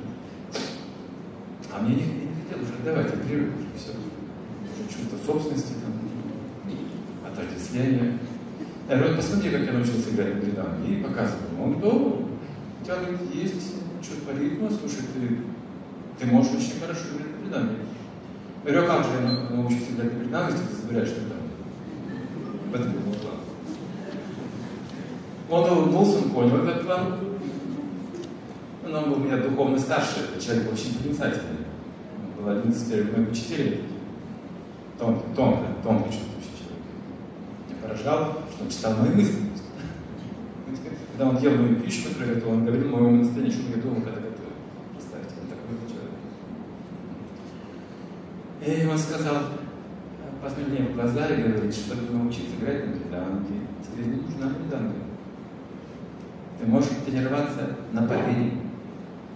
Вот когда ты научишься на бриданге, она к тебе сама придет. Тебя все будут просить, вот тебе бриданга, сыграй, пожалуйста, вот тебе бриданга, сыграй, пожалуйста. Она к тебе сама придет, я думаю, боже мой, и она всю жизнь запомнила. Вот чем я должен думать. Не о деньгах. Они могут сами прийти ко мне, если у меня есть квалификация жить. Разум. Самый большой дар в жизни – это разум. Никто его себе сам прибавить не может. Разум – дар Бога, говорится. Откуда исходит? Вот с этих божественных уровней. Выше человечества. Но мы же сказали, что это выше, как же мне с ними соприкасаться, если в моем опыте я имею только вот максимум три. И веды говорят очень просто. Тонкое тело должно слушать. Особенно об этих вот высших отношениях. Вот и все. Вот и все. И любовь к Это, конечно, не все, потому что, чтобы услышать нужно очистить тонкое тело, тонкие ткани мозга. Для этого нужна другая пища. Неопределенные регулирующие принципы, определенный ритм жизни. Нужно научиться жить в другом ритме. Все. Вот тогда все. Это как радио. Волну поймаете, тогда пойдет информация. Не поймаете, не пойдет. То есть нужно отрегулировать свой сон, еду, работу, отдых и йогу, работу с умом, очищение ума каждый день. И настанет момент, когда начнете воспринимать все это в трансе. В трансе все будет ощущение. Обретете ту самую любовь, которая дремлет в сердце каждого человека. И божественную. Вот это счастье. При этом говорится, события жизни могут проходить дальше, как они проходят. Передел мира какой-то сейчас наступает, эти события тревожные, еще нас ожидают трудности, конечно же. Но если вы наполнены изнутри, вы станете бесстрашным человеком. Вы все это выдержите. Главное, не пускайте этот страх в сердце до параноидальных синдромов, фобий, тревог, этих разногласия, начинаете ссорить, враждовать друг с другом, не пускайте в сердце эту двойственность, а там должно быть любовь. Все остальное мы переживем легко. Вы знаете, все эти измы, коммунизм, социализм, шовинизм, национализм, фашизм даже, они могут быть позитивными. Я серьезно говорю. Если их одухотворить. Вы знаете, что такое духовный фашизм? Слово страшное. А это духовный фашизм, совсем другой смысл. Вы можете считать себя арийцем, пожалуйста. А что это означает с духовной точки зрения? Что вы спасаете других людей от их страданий, невежества, от их похоти, от их недостатка. Что вы жертвуете своей жизнью ради того, чтобы люди стали лучше. Это называется духовный фашизм. Вы, да, вы знаете, что вы арий, что у вас есть понятие Бога, понятие души, они развиты, ваше сознание развито, хорошо. Но если вы арий, духовный человек, вы это в жертву принесете. Вы никому вреда не, не причините, пожалуйста, считайте себя лучшим, но тогда действуйте лучше всех. Не так, что вы мните себя лучшим, а людей убиваете. Вы фашист. Просто фашист. Даже коммунизм добавьте эту душу. Чем плохая? Равенство братство, да, на духовном уровне, на материальном невозможно, не получается на материальном уровне, ничего не получается. Также в семье без духовного сознания мы не сможем создать крепкую семью и те ценности, которые нужны будущим поколениям, которые они углубили еще больше и лучше. Чтобы наши портреты держали всю жизнь, понимаете, помнили наши наставления. Вот что такое семья духовная. Они помнили нашу бабку, прабабку, дедов наших всех великих личностей, все эти великие личности, вот эта духовная династия называется. Не так, что дети вырастают и не хотят жить с своими родителями, просто объединяются и все. Не хотят, только кровь портит. Вот о чем речь идет. Что мы сейчас пока еще на материальной платформе, мы только начинаем пробуждаться от того, что мы несчастливы на этой платформе. Хотим, хотим чего-то другого, не знаем, чего хотим. Мы русские такие. И Иду туда, не знаю куда, ищу не знаю что. Но ищу и хочу, ищу и хочу. Мы не останавливаемся. Никто душу не знает никогда, даже тот, кто. Невозможно познать, это тайна. Если даже вы увидите, вы скажете, не может быть. Если вы услышите, вы скажете, не бывает. Но факт в том, что я иду с душой.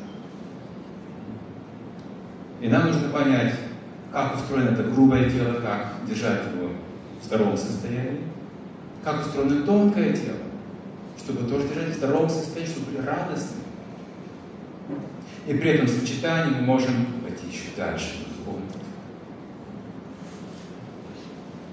Вот в чем наша роль человека. Вот чего дан избыточный разум. Вот чего дана религия, философия, наука, искусство, культура спорт, йога, семья, браки, храмы. Зачем все это? Это есть просто украшение на этом уровне. Камера, чтобы встречаться с противоположным Богом. Есть духовный смысл, великий смысл. Итак, я думаю, что информации достаточно. Мы, наверное, можем как-то на вопросы перейти, если есть вопросы, продолжение нашей беседы. Вот, пожалуйста, это могут быть записки или устно, как организовано.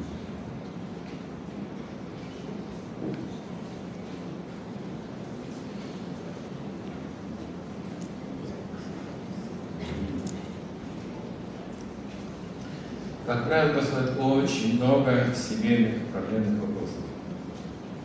Что делать с мужем, что с женой, что делать с детьми, что делать с родителями, курить,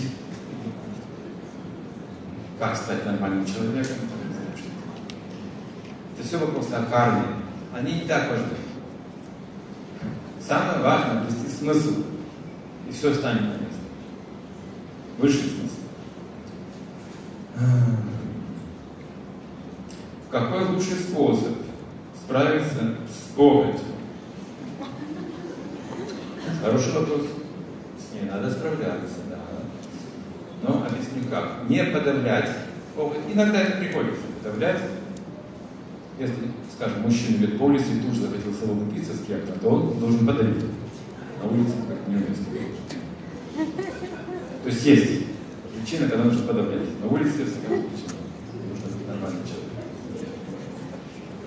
В этом случае подавлять. А вообще, в принципе, похоть подавить невозможно в полном смысле слова. Ее нужно возвысить, сублимировать такой термин. Такой термин. С низшей чакры на более высокой. Та же энергия двигается по-разному. Похоть на более высоких уровнях это э, видение красоты, гармонии мира. Может выразиться совсем по-другому. В музыке, в философии, в общении, в речи, в чувствах возвышенных, платонических. Но вопрос, как поднять ее снизу вверх,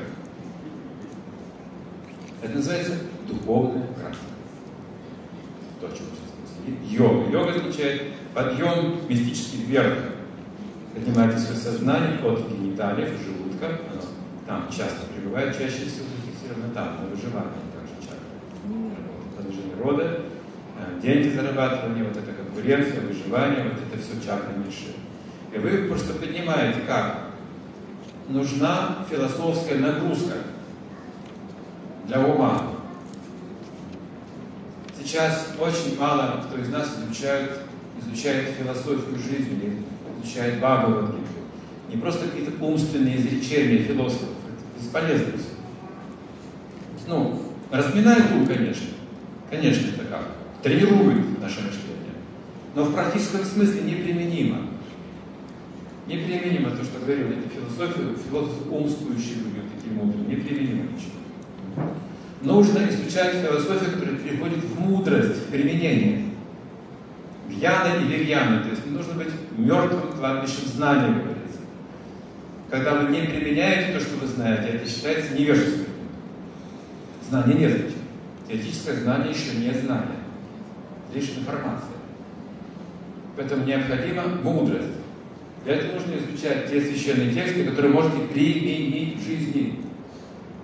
Вот тогда начинается подъем этой энергии вверх, когда вы осмысливаете. Ну, например, например человек э, делал плохую вещь, потому что все так делают, и считал, что это хорошо.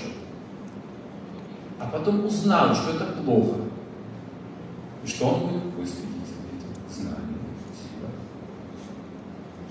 Знание контролирует ум? Оно выше. Если я сам придумываю закон, это одно. Если изучаю законы Бога, это это знание контролирует совесть пробуждает, волю пробуждает. Вот эта нагрузка, она нужна. Изучение ведической литературы, то есть философская нагрузка, она избавляет от депрессии, от фобий, от страхов. Если вы философски мыслите, вы защищены от этих вот как бы тонких болезней, тонкого Это расстройство психическое. Сегодня я скажу по секрету, практически все люди травмированы психически. Практически все, каждый из нас. От нашего рождения у нас слишком много страха, неуверенности, сомнений, мы живем в сомнениях всю жизнь. Это болезнь. Если сомневаешься, не, не можешь быть счастлив ни в этой жизни, ни в следующей. Вы должны знать, что делать, и веру иметь. И радость иметь, когда вы это улице должны ходить радостно. Ребята говорит, улыбается. Сначала подумать, что с вами что-то не то.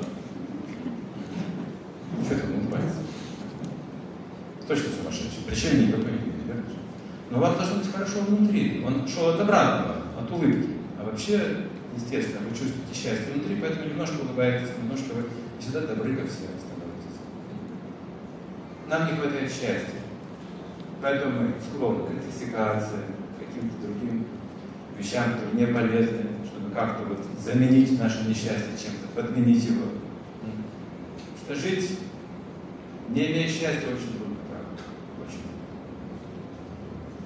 И сексуальная эта похотливая вещь, она вызывает раздражение у людей. Гнев, раздражение, ссоры, конфликты. Потому что вожделение никогда невозможно удовлетворить. Его нужно выразить в творчестве, в деятельности, в словах, в служении другим словам. Не в господстве, а в служении. Тогда вы чувствуете, что вы счастливы. Когда вы отдаете Вот в возвышенном таком человеческом понятии, да, как культура, как философия, как добрая речь, как разговор об абсолютной истине, попытка да, говорить на возвышенные темы. Вот туда нужно идти, в ту сторону учить. Муж и жена должны учиться этому.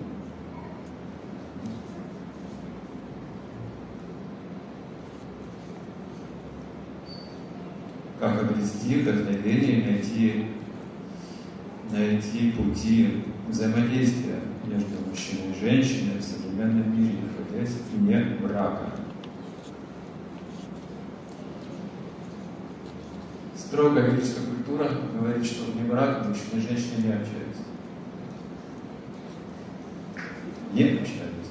Вне брака не общаются. Я извиняюсь. К сожалению, это так. Не могу сказать неправду. Я это хорошо понимаю сам. У меня одна жена 36, 36 лет.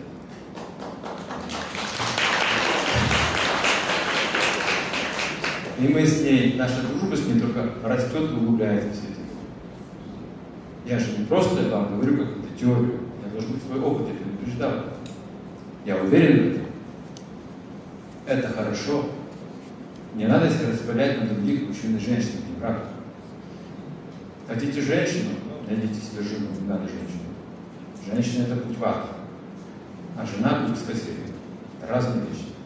Также и мужа найти нужно, не мужчину, а мужа. Это уже ответственность двух сторон, просто пол. И вот с ответственностью называется брак. Тогда это семья, тогда это обед. Еще мы должны знать, как эти отношения нам развивать. Не просто вот сойтись вместе и жить там, как получится. А иметь знания, подготовку. Образование нужно иметь. В прошлом, в далеком прошлом, прежде человек женился, он совершал суровые аскезы. Перед тем, как вступить в брак. Он должен был обуздать свой ум и чувства, а потом вступать в брак. И они порождали потомство такое, какое нужно было, не случайных детей. Почитайте Веды. Это все описано там Куранах, в философии. Как жили люди той цивилизации. Какие-то были великие души. Что нерожденный ребенок, то какой-то великий человек, понимаете? Нам сегодня не хватает таких великих людей. Давайте их пригласим прямо в наши семьи, давайте их породим. Нужно знание, нужна наука, это наука. Это не просто, что мы сошлись, разошлись, это наука.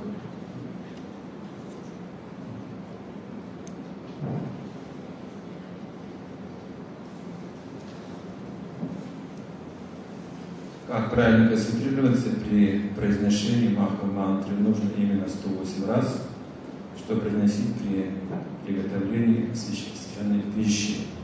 Касается же практики духовной, сейчас спросили о махамантре. Есть разные духовные практики в разных традициях для разных людей. Махамантра предназначена для тех, кто хочет пробудить в себе любовь к Богу. Вот ставить цель самую высокую, это Махамантра. Просто очиститься от кармы можно заниматься благочестивой деятельностью, хорошо, благотворительностью, хорошо. Просто обряды религиозные соблюдать, совершать, ходить в храм по воскресеньям, молитву читать, каяться в грехах. Это покаяние тоже очищает сердце, это регулярно. Делайте результаты Но если вы хотите пробудить именно любовь к Богу, то Махамантра. Махамантра обращается вот к этой, к этой сфере, к самой интимной божественной сфере. Махамантра. Вообще она не распространялась раньше, она была в секрете. Наш век Кали, она считается единственным и самым обычным средством для того, чтобы спасти мир человеческий. Ум вырвать из этой западни. Мантра – это ум, тра – освобождение, звук освобождает ум. Какой звук? Духовный звук должен быть. Нематериальный. Это имя Бога должно. И то имя, которое вы повторяете, медитируете вслух, те качества на вас переносятся. Все очень просто. Вы соприкасаетесь с этим качеством. Махамантра пробуждает вашу изначальную природу, сварупу. То есть душу проникает непосредственно туда, минуя ментальную платформу, чувственную и будхи даже. Она проникает, как севичка, сразу непосредственно в сердце. Если вы слышите из правильного источника, правильно будете практиковать, вы сразу почувствуете результат. Сразу же. Я почему вы? Потому что я ее практикую, это просто ко мне. Я ее практикую с 1985 года. Узнал об этом в Санкт-Петербурге в то время. От небольшой группы людей, которые изучали Бхагавадгиту, занимались медитацией и йогой. Вот. О мантрах я уже слышал из других эзотерических источников. Я понимал, что есть чакры, есть центры, есть звуки, которые могут пробуждать эти центры, что-то такое читал. То Махамантру сразу стал повторять, как-то склонен при этом я не был религиозным, это было советское время, я не был ни христианином, ни мусульманином, просто обычным светским атеистом, образованным в научной школе советской. Я искал абсолютную истину, но э, Бога не любил. Это слово не любил, потому что нам привили это, что религия только для народа, нам это. Я искал скорее философски, научное подтверждение души и мне помог этот опыт. В 1982 году этот опыт со мной много раз. Я выходил из темы. Как это бывает в клинической смерти. С того момента я стал убежден, что есть другие измерения жизни. У меня ушел страх смерти, какой был раньше. Я стал понимать, что жизнь она непрерывна. Много раз это Собственно говоря, он мог не погубить этот опыт, если бы не Махамантра. Махамантра все убили. Мантру стал все на свои места. Не нужно выходить из тела, чтобы понять эти вещи. В этом деле все поймете. И также Бог находится в сердце, то, что я узнал. Вот это храм настоящий. Здесь нужно следить. Своя душа сердце каждого живого существа. Один на всех. Один на всех. То, что Господь свой один. Хотя и по-разному он с нами будет общаться внутри сердца, с каждым. Вот, вот к этой цели нужно. Познать себя, потому что все здесь, все свое душу собой. Храмы в этом могут помочь, обряды могут помочь, если вы хотите. Если вы хотите просто увидеть Бога, то Он повсюду. Он в храме, вне храма. Откуда берется лень? Почему она так часто поглощает меня? Как с ней справиться?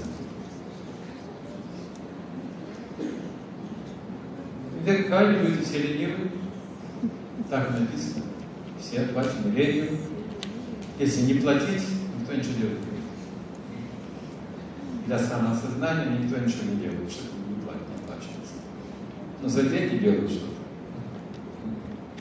Это Кали. Один человек говорит, я, да, борюсь с ленью. Его спрашиваю, ну как? Успехи? Говорит, ну, когда лень меня побеждает, я засыпаю. Ну, а если я побеждаю лень, я отдыхаю после борьбы. Результат одинаковый. Мой совет, то есть сам человек, как правило, не выходит из таких состояний, сам он болен, допустим, лень обуяла его, апатия, самому очень трудно выйти из этого состояния. Он должен общаться с теми, кто обладает решимостью. И ему будет стыдно за свою лень. Начнет что-то делать. Общение. Если вы общаетесь с такими же ленивыми, ленивыми людьми, просто раздраженными людьми, лень только усилится. Да? Муж лежит, жена пилит. И что толку? Ну, так уж нужен на самом деле энтузиазм, нужно горение, нужно радость жизни, нужно соприкоснуться да, с этим фонтаном счастья. Это все как бы сон жизни, лень это сон, спячка. Можно так проспать всю жизнь. Хороший вопрос, раз вы спрашиваете, значит есть шанс. Что бы вы посоветовали почитать про путь и роль э, женщины? Дорогие мои, сейчас вы все запутаете. Я так и знал. Вот зря я говорю про мужчин женщин. Вы не поняли, не в этом дело. Мы же говорили, не в этом дело. Душа нужна. Поэтому сейчас, пожалуйста, читайте о душе, кем бы вы ни были. Когда вы приблизитесь к душе, остальное откроется вам. Не надо усложнять этими всеми психологическими науками. Это слишком много информации. Столько типов мужчин, столько типов женщин. Знаете, сколько их там написано? Боже мой. Это все хотите изучать, что ли? Но это слишком а, а, а, слишком тонкий анализ. Изучите себя как душу, как личность, а остальное у вас уже есть, вы увидите. Запутанность происходит в чем? Что я кому-то подражаю, вот в чем запутанность что вы как женщина кому-то подражаете, а мужчина тоже кому-то подражает. Вот в чем проблема. Когда вы познаете себя, вы станете самим собой, и все встанет на свое место. Вы уже женщина, уже мужчина. Что надо мужчине? Это уже у вас есть. Вы просто будете самим собой. Природа сама вам скажет, что вы должны делать. Не усложняйте это. А душу нужно познать. И когда вы общаетесь с мужчиной и женщиной, чтобы брак вступить, тоже, пожалуйста, вы должны познать немножко с этой стороны друг друга, стороны духовной, смысла жизни, прежде чем союз какой-то организовать.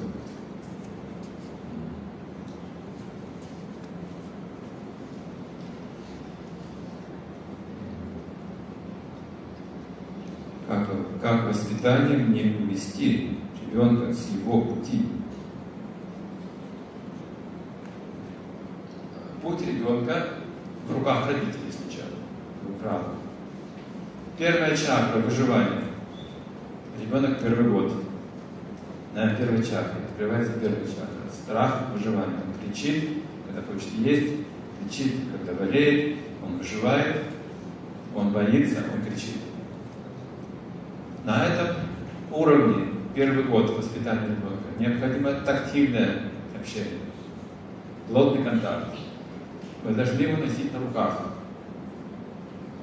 Как можно чаще. Это первый год. Если вы этого не сделаете, ребенок будет расти с травмой. Она потом проявится, когда он вырастет. То есть первое это птица олицетворяет и птенцы. Она их должна вот так непосредственно держать при себе. И они спокойны. Все хорошо. Тонкое тело переводится в порядок гладите, носите, разговариваете, баюкаете, вы должны с ним рядом лежать, разговаривать, кормить, близко к себе. Петь песни колыбельные очень важно. Второй год открывается чакра чувств. На втором годе ребенок начинает уже капризничать, различать. Вот это хочу, это не хочу, начинает уже проявлять капризы, чувства. Ваш долг исполнять все, что он требует. Без разговора. Не объяснять, что, что можно, что нельзя, просто выполнять, что он всегда чувствует удовлетворение. Если вы этого не сделаете на втором уроке, вы травмируете ребенка. Если будете это игнорировать, вы разрушите его психику. Это потом скажется, когда он станет взрослым. Это второй год. Третий год жизни. Он исследует жизнь. Чакра деловитости называется. Что это? А это что? И все ломает, все ломает. Все, что не дает руки, все сломает. Вы должны знать, ломать должен три года. Из-за этого не наказывают, а говорят, какой умный ребенок, а? Надо же как разобрался, а? Так вот собрать не смог. Иногда он берет руку, тянет, а тут что? Хрустальная ваза.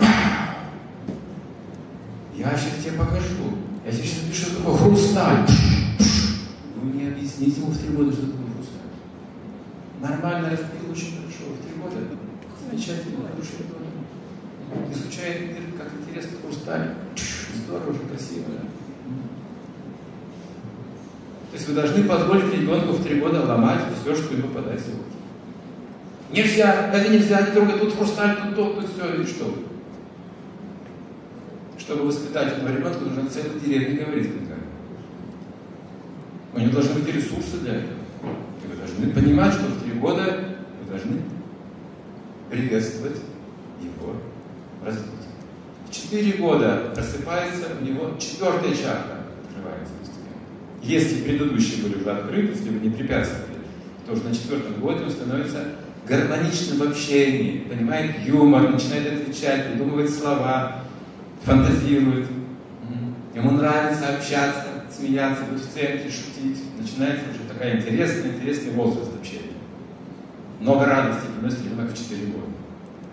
Также в 4 года он может вспомнить что-то из прошлой жизни, но больше 4-5 лет. В, на этом периоде жизни вы должны ценить его творчество, а не так, что это все глупости перестань, надоело. Он от вас отчуждается, он понимает, что у меня своя жизнь, у них своя жизнь. И моя жизнь их не очень интересует. В пять лет, если все хорошо было, пробуждается пятая философская чакра. Философские вопросы. А я откуда? Кто я? Если вы на этот счет тоже ничего не скажете, доброму ребенку тоже закрывайте чакру. Он не будет больше философствовать. Потому что он у вас учится. Вы его учите. Природу учите. Он будет от вас воспринимать все, что вы скажете, все ваши эмоции, реакции, все впитает он в этом возрасте. До пяти лет. Если пять лет он не получает ответа на философские вопросы, то в шесть лет он не станет мудрым, не будет применять. Он уже будет самостоятельным. В шесть лет он уже самостоятельные вещи может, хочет делать. Тоже нужно позволять делать ему самостоятельные вещи. И в 7 лет у него на самом деле уже сформирована вера в Бога. Естественно начинает верить в сверх силу, в сверх в сверх. Он готов к великим делам. В тонком теле готов, физически не готов, в тонком теле он уже готов. Сформирован. Это первые 7 лет развития ребенка. Если вы эти чакры расположите горизонтально по таблице и вертикально по таблице, получается 49 лет прожить. Поочередно каждую чакру по 7 лет придется прожить. 49 лет вы должны стать совершенным человеком, если все было нормально. 25 лет вы должны состоявшимся человеком. В чакрах все дело, не в деньгах. Не в работе, не в количестве зарплаты, а в наших способностях все дело. Все это есть у нас.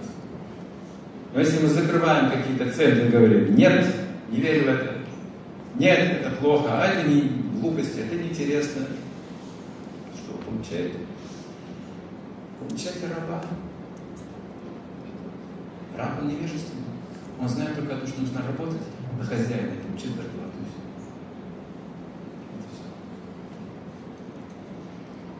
Поэтому мы не будем говорить о счастье, которое, знаете, для развлечения существует. Мы говорим о настоящем счастье.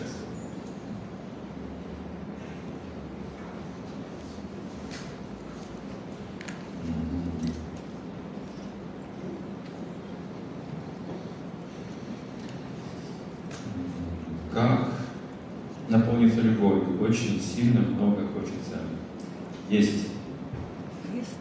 Мясо не ем, стремлюсь к сыровину постоянно. Нет силы воли, но я думаю, что это психика.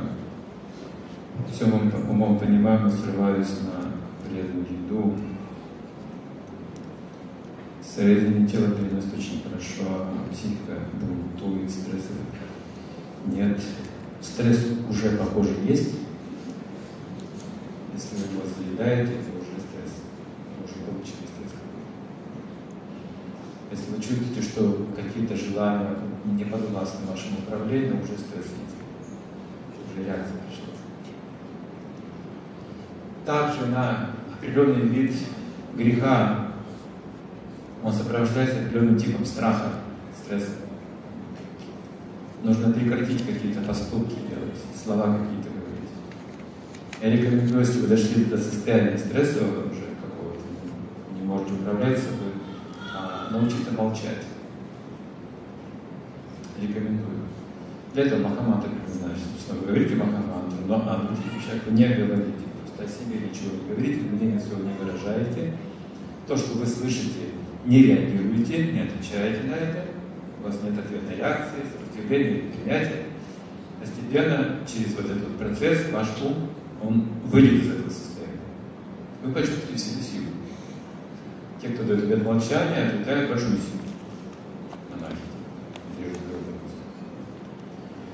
Вот. Но полное молчание вы не сможете в жизни, потому что есть работа, там необходимо общаться. Но смотрите, если молчание, это лучше всего.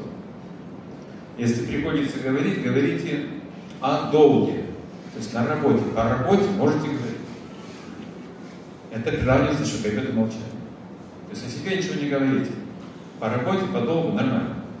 Если вы о долге говорили, и все равно приходится о чем-то говорить все-таки, говорите правду. Только правду. Если чего-то не знаете, не говорите. Если вы все это проговорили и все равно что-то требуется сказать в какой-то ситуации, говорите приятную вещь, все мне. Все остальное молчите. Вот эту дисциплину примите. С Махамантрой будет легче, конечно, с молитвой. Что так просто, я думаю, даже невозможно будет долго это делать обычному человеку. Но с молитвой, с, Махаман, с Махамантрой это будет возможно, и вы откроете себе новый мир внутри. Новый мир отношений, жизнь изменится в ваших глазах вокруг вся. Все ваши предыдущие оценки будут меняться. Вы как будто войдете совершенно другое измерение отношений. Вы думаете, боже мой, сюда это было со мной. Почему этого не видел? Просто будет изменится ваше настроение. И мир тоже изменится. Вот, поэтому Махамантру рекомендую, если у кого-то нет предубеждений, повторяйте Махамантру, если есть предубеждение по поводу Махамантры, повторяйте Сусу молитву и так далее, или там Суры из Корана, это уже ваш выбор. Но одно условие, дорогие мои, это нужно делать серьезно. Не в шутку, не поверхностно, а серьезно. Нужно осмыслить, что мы вообще делаем. Замечательно. Как справиться с агрессией и оскорблениями сына?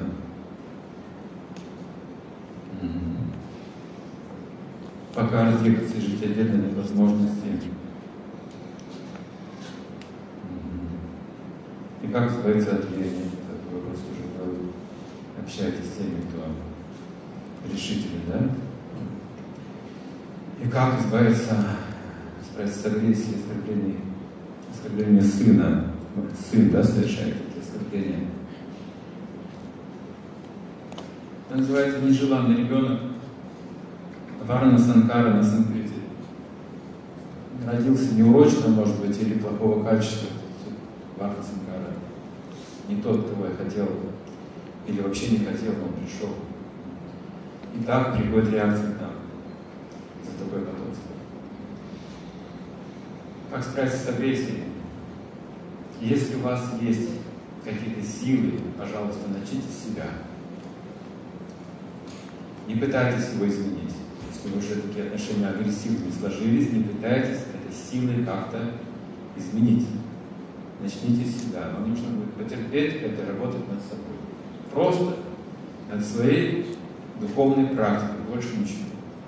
Забудьте про агрессию сына, начните работать над собой.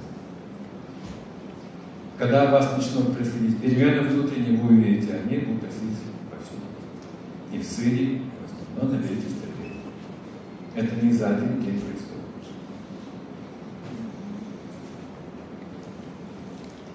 Терпение есть у нас?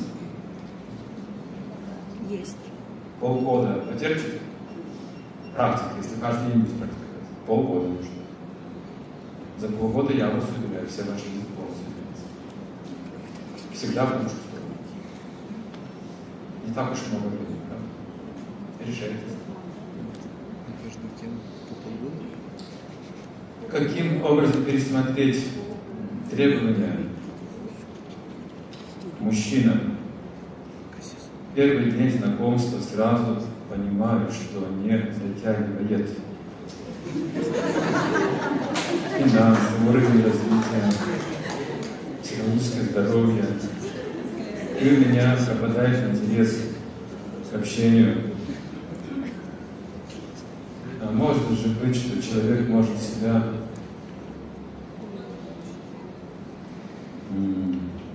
проявить позже. Позже еще хуже будет.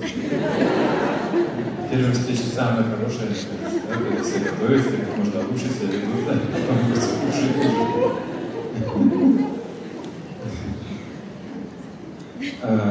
Смотрите, не случайно к вам приходят такие мужчины без финансов.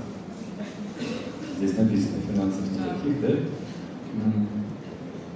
Уровень развития психологическое здоровье, то есть такие вот мужчины, как не совсем полноценные для брака. Не случайно к вам они приходят. Женщина получает мужа, какого заслужила добиться. Поэтому, если вы хотите да, хорошего мужа, давайте накапливать заслуги. Не просто ждать, когда же придет хороший муж. Так он не придет. Придут подобные ему просто. Для того, чтобы привлечь человека выше, вы должны тоже стать выше не только внешний вид. Это просто обманка. Вообще не все проявится все равно. Поэтому развивайте себя, свой внутренний мир. Какая женщина нужна для жизни, подумайте, мужчина.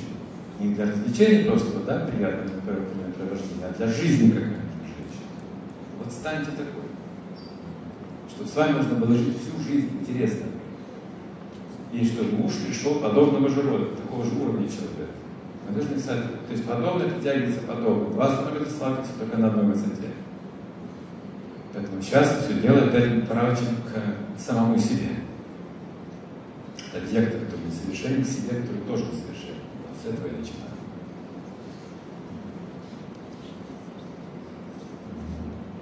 Один астролог мне сказал, он женат, он говорит, у меня жена, и у нас совместимость очень низкая. По гороскопу смотрим, слабенькая совместимость. Но мы живем вместе уже много лет. Посмотрел наш гороскоп с женой, то же самое, совместимость невысокая, но живем всю жизнь. Как? Я его спросил, а как ты живешь? Как при такой совместимости вы живете? Нормально? Ну, мы видим это. Есть один секрет, если вы сумеете применить. Предание. Раньше не понимали, что это слово. Предание. Сейчас никому на голову не придет. То есть брак один раз на всю жизнь. Все на это кидается. Об этом не думаете. Все, прекращайте думать о личной жизни. Думайте о другой уже задаче, следующей. Вот как это происходит. А если мы женились, вышли замуж, продолжаем думать о личной жизни, это противоречие. Вы уже поженились, все. Что тут думать? Теперь исполнять свои обязанности, единственное, как и все будет хорошо. Заботьтесь друг о друге, то есть знаете свой, свой, свой долг выполняйте, и все. А вот долг не хочу выполнять. Я ему не нанимаюсь. Так. Тогда, ну что, тогда брака не будет. Без предания мы не можем ни одну вещь довести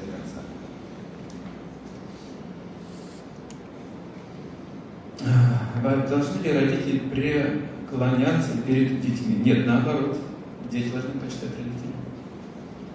Наоборот, дети, родители должны благословлять детей. Понимаете? Старшие должны благословлять младших. В этом сила рода. А дети, они поклоняются родителям. Буквально каждый день выражают почтение многие старые традиции. Это хорошая система. Так, и родители, дети продолжают прогрессировать. У родителей интересно, что они хотят все самое лучшее для своих детей. И вот он дошел до последней точки. Ну, все сделал, все, что мог, больше не могу, все. Все, отношения исчерпались, так? Но если дети поклоняются родителям, отношения не исчерпываются. Они сравниваются с отношениями коровы и теленка. Теленок подходит к корове и сосет молоко. Если молоко кончается, что он делает? Апперкот. Бабах, бабах, молоко снова идет. Корова даст столько, сколько нужно. Также, если дети поклоняются родителям, отношения не исчерпываются, а трансформируются дальше. Поймите, мы вечные существа, можем вечно общаться, не имея страданий, с одним человеком, с одной душой. Как материальные существа мы ограничены, как души нет. В этом секрет. Бог этот из нас все выжмет и выплюнет потом. Вот состаримся и все уже неинтересно чуть-чуть начинки появились, муж смотрит на другую женщину. Вот это бедствие, да? Обманул меня, оказывается, уже столько лет, там у него женщины есть. Вот что происходит. Если мы не имеем духовной платформы, мы не сможем победить похоть. Это невозможно. Поэтому брак должен одухотворенно освящен.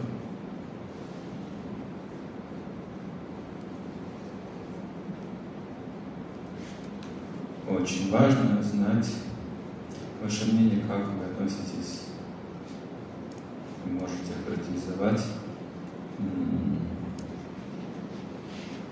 буддизм, Преснецовая. Тут в кавычках, я не знаю этот термин. Близнецовое пламя. Да, что это? Кто-то знает?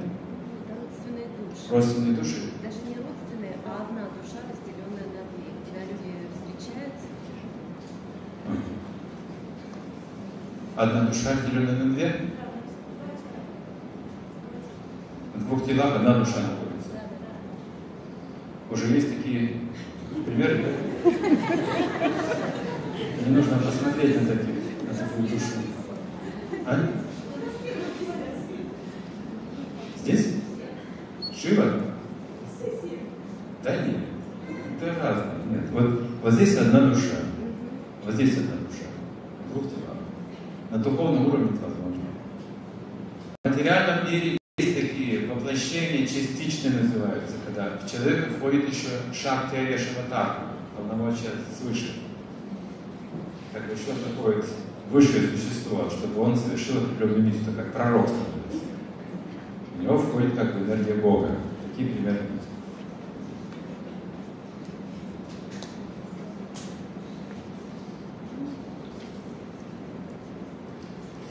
Вы сказали, что у животного нет тонкого тела. Как вы объясните, что собака знает, что хозяин выходит с работы домой?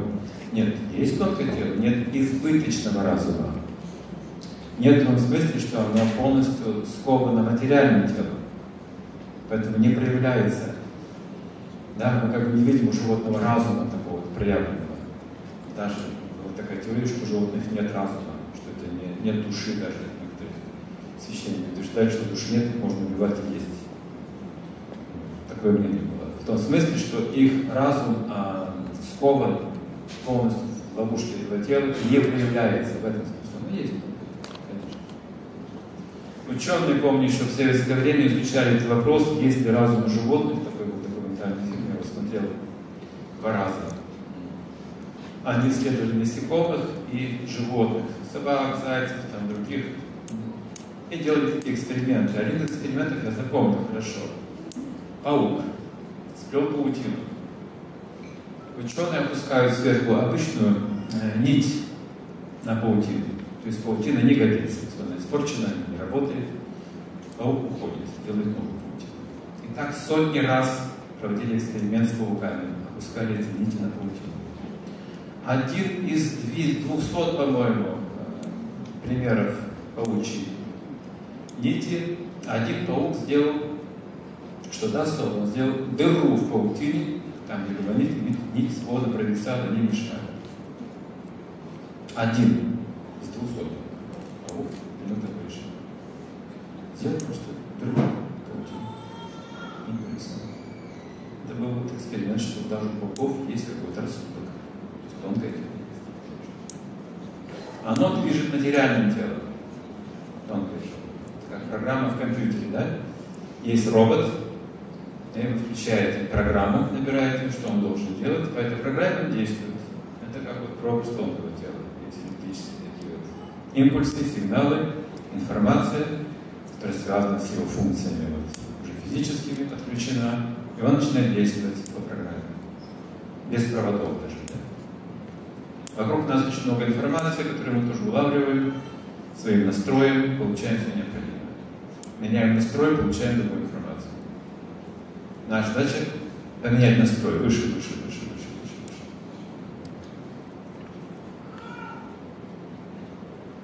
Где хранятся веды? Веды в виде э, книги. Веды, они писались на пальмовых листах и регулярно переписывались, часть света. Другая часть света записывалась на медных пластинах, есть практически тысячи лет. Где мы фиксовались в Индии? А, оказывается, их не хранили в одном месте никогда. Они были в разных храмах. Некоторые ведические писания были засекречены и спрятаны, и недоступны. Этот вопрос очень сложный. В настоящее время они рассеяны по всему миру со времен а, колонии Англии. Индия была, они эти писания доставали. В Германии очень много есть библиотеки, которые тоже не допускают обычных людей туда. Много э, текстов ведических. Все научные открытия практически были с подачи ведической мудрости, открыты в современном в том числе ядерное оружие. Прообраз его описан в ведах Брамастра. И объяснялось примерно, что это за оружие, как оно вызывается. Вот этот прообраз сыграл роль, ученые стали работать этом направлении, открыли ядерное это то, что слышал в ведических книгах. Все, все как бы предсказания, все вот эти вот предпосылки развития идут из ведических писаний. До сих пор их еще находят э, в разных частях. Мы не знаем сегодня, все веды собраны со времен Будды, Будда отверг веды в то время, когда он явился. Потом веды исчезли на какое-то время. Затем снова их собирали. И что сейчас, на данный момент, не представляется возможным все веды собрать сейчас в, один, в одно какое-то, в одну книгу. Это слишком большой объем.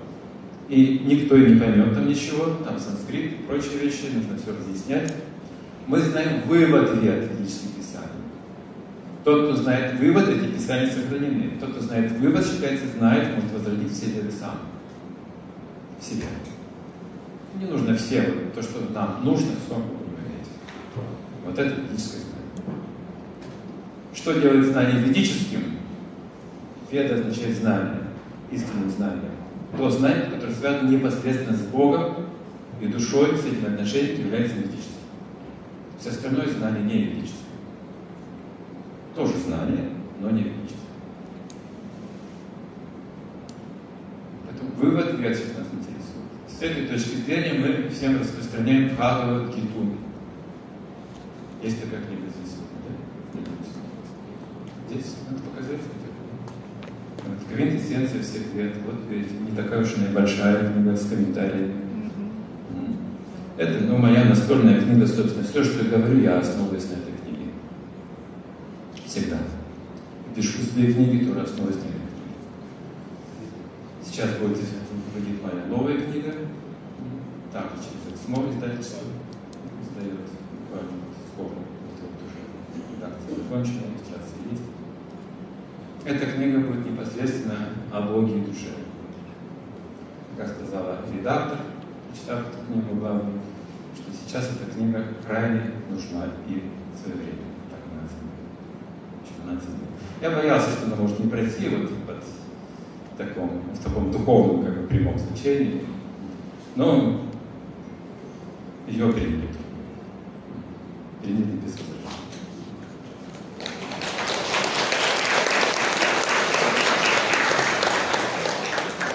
еще несколько вопросов, наверное, уже все устают. Подскажите самое простое упражнение для начала медитации. Ничего сложного. Ничего сложного. Как вы сидите? Какая медитация? Сядьте прямо. Расслабление поможет, но позвоночник должен быть прямой, ровный стараться. макушка головы наверху. Итак, теперь нужно притупить свое зрение. Можете полуприкрыть глаза, чуть-чуть свести на кончик носа зрение. Итак, посидеть секунд 15, сосредоточиться на кончике носа своего, ни на чем другом. Просто мой кончик носа. Ничего другого не вижу, не слышу. Мне все равно, что сейчас происходит на улице, что было на работе, что меня ожидает после лекции в семье. Мне абсолютно сейчас все равно, мне кончик носа. Теперь я чувствую, что можно как-то успокоиться, расслабиться. Никто меня сейчас не потревожит в ближайшие минуты. Никому нет дела, все заняты кончиком носа. Никто на нас не смотрит. Красивый, некрасивый, все это забудьте. Молодый или старый, вообще не в этом. Вы душа. Вы неизменны. Всегда один и тот же. И в детстве, и сейчас, и в будущем ничего не изменится. Вы всегда душа. Расслабьте. Голову, лицо, шею. Вот эти мысли помогут. Все хорошо внутри меня. Хорошая, нормальная, гармоничная жизнь. В этой буре событий я уравновешен.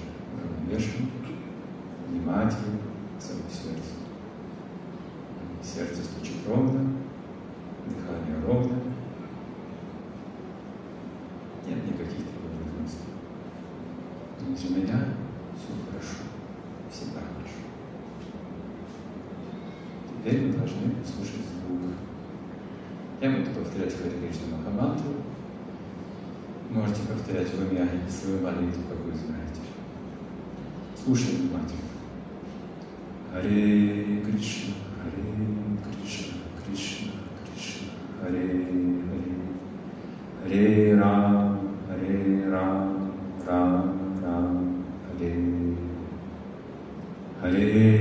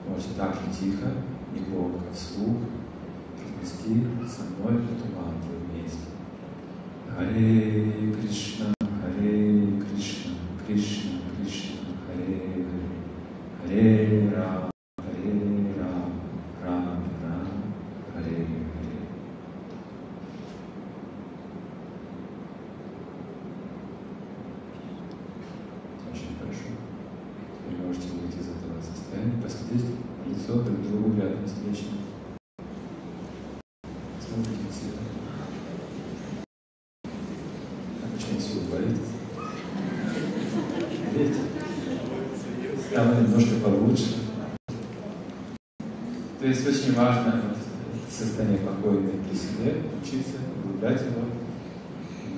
Имя Бога, оно в этом состоянии покоя пробуждает внутреннюю энергию, как океан, с берегов не выходит, но он может волноваться при этом.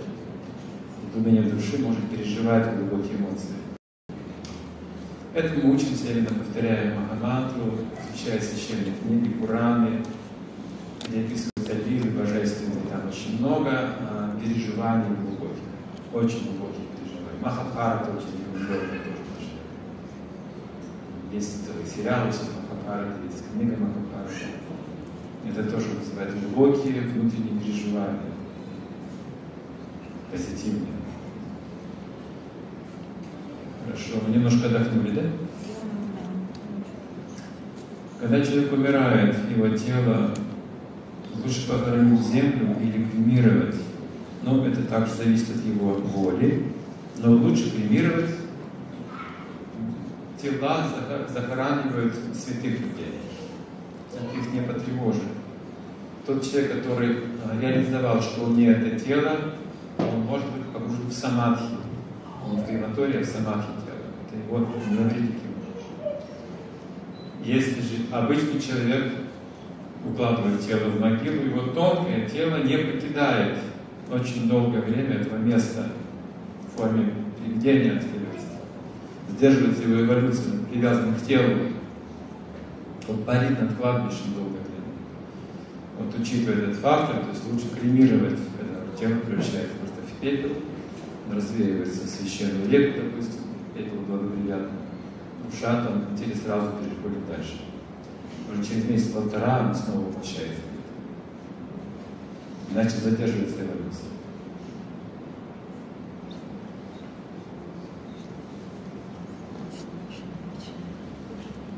Как перестать беспокоиться, страдать за сына во время его службы в армии очень трудно сохранять спокойствие.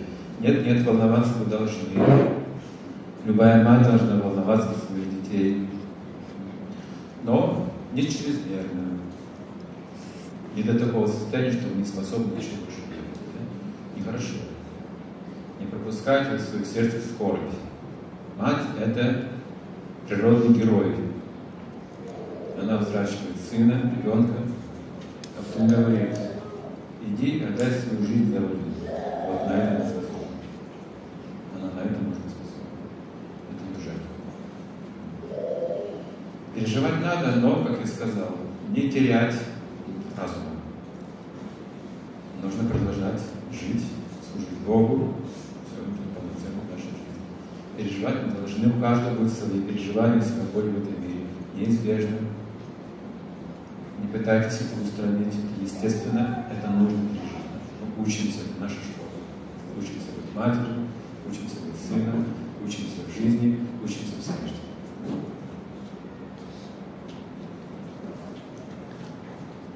И не молитесь за него, конечно. Если дочь и сын растут без отца, что должна мать дать детям, чтобы в будущем их жизнь была полноценной и семейной, без отца? В этом случае, в этом случае необходим образ отца, получить матери. Хороший образ отца. Мать дать хороший образ. Или воспитывать также на примерах великих святых людей. Детей нужно воспитывать на великих примерах. Отца и матери будет недостаточно, да? Все равно нужны примеры великих людей, святых людей. То есть, смотрите, в жизни у нас вот то неполные браки, семьи, то разногласия в семье, то болезни, то там какие-то травмы, то фобии, видите, много всего, то браки, то разводы. Много потерь, согласен, согласен. Но почему мы делаем акцент на имени Бога, на Боге? Все это можно восстановить, полноценность человека внутри, при помощи священных имен. Это лекарство как бы от всех вот этих вот внутренних проблем, вну, тонкие, тонкие проблемы, все лечатся одним лекарством, одним рецептом имени Бога. Это предписано в, в Коране. За нас и песни Шимабхагават об этом говорится. Каля доша нити раджам, астихека маханкунам, киртанатова Кришна Сямукта Санта Парам Раджет. Говорится о нашем времени тяжелом. Испытания будут очень, очень много мы страдаем. Век разногласий, деградации, расколов, конфликтов, войн.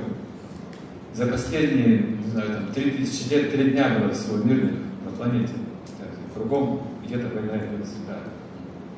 И в этом тексте говорится, что век Кали, он просто как океан порока. Кали Доша Нити Раджан. Обращается к царю, мудрец говорит, век Кали это просто океан порока. Не нужно даже это все перечислять. Он средства массовой информации. Сколько там? Не надо даже океан порока. Асти это махан гун, махан гунам. Гун означает качество. Махан значит великое есть. Одно достояние века Кали, которое превосходит все предыдущие эпохи. Одно из величайших преимуществ. Киртана э, Кришна Сяга. Древний текст, много тысяч лет.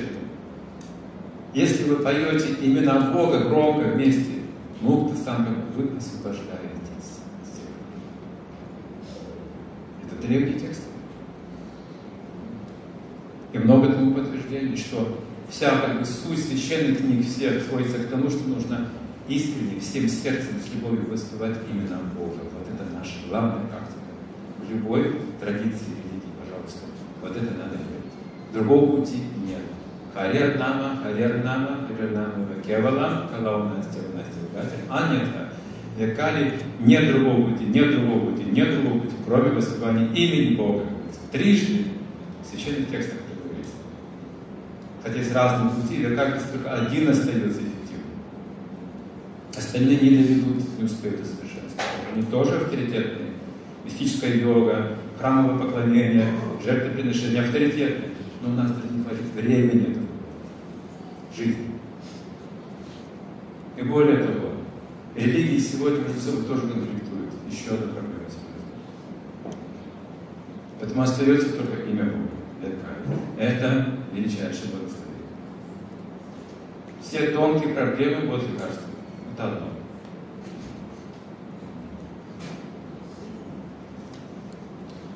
Итак, скоро закончим. А, как вы относитесь к крие, йоге? Йога творчество, да, как крия, это же творение, творчество, крия, йога. Я хорошо к йоге отношусь, к любой йоге. И хатха йога хороша, и йога. Йога означает связь с Богом, ючь, связь.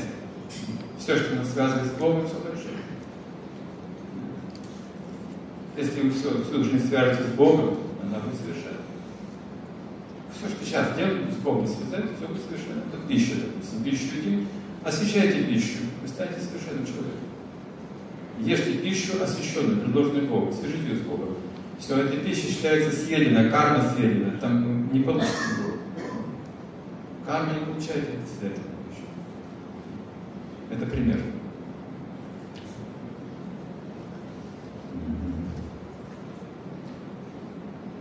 какой йогой вы рекомендовали бы заниматься? Ну вот я уже сказал, это йога, йога воспевания имен Бога, непосредственно называется бхакти-йога. Йога любви, бхакти. Ну, бхакти это слово йога. Любовь тоже можно так перевести. Но это чистое, любовное, беспримесное, бескорыстное, преданное служение, еще так можно вполне бхакти. Бескорыстное, чистое, любовное, преданное служение. Эта практика очень могущественна, она меняет, трансформирует все в мире. Бескорыстное, чистое, любовное, преданное служение. На этом пути вы становитесь дороги всем, и все дороги вам, так описывается. Это лучший путь, который можно прожить.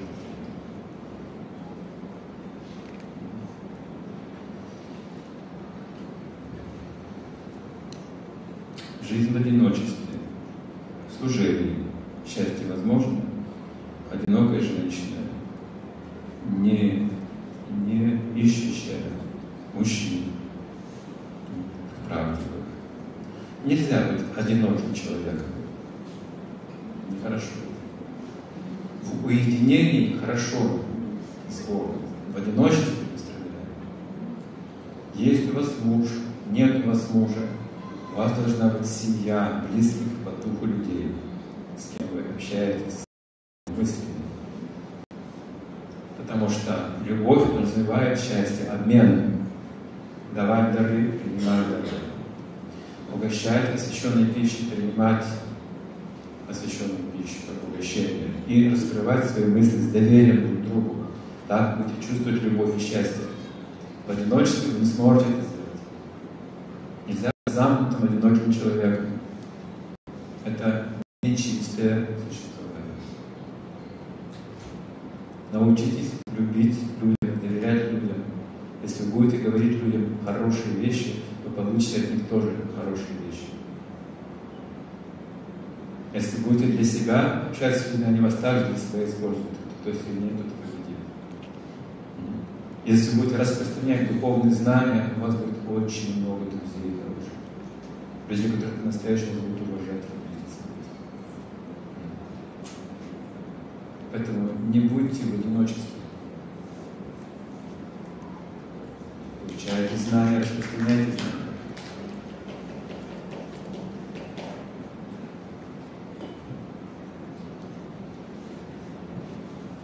последний вопрос. Как можно помочь ребенку, если была нанесена травма на первом году жизни, на уровне первой чакры, в дальнейшем, если мы сейчас 2-8 годика, мальчик,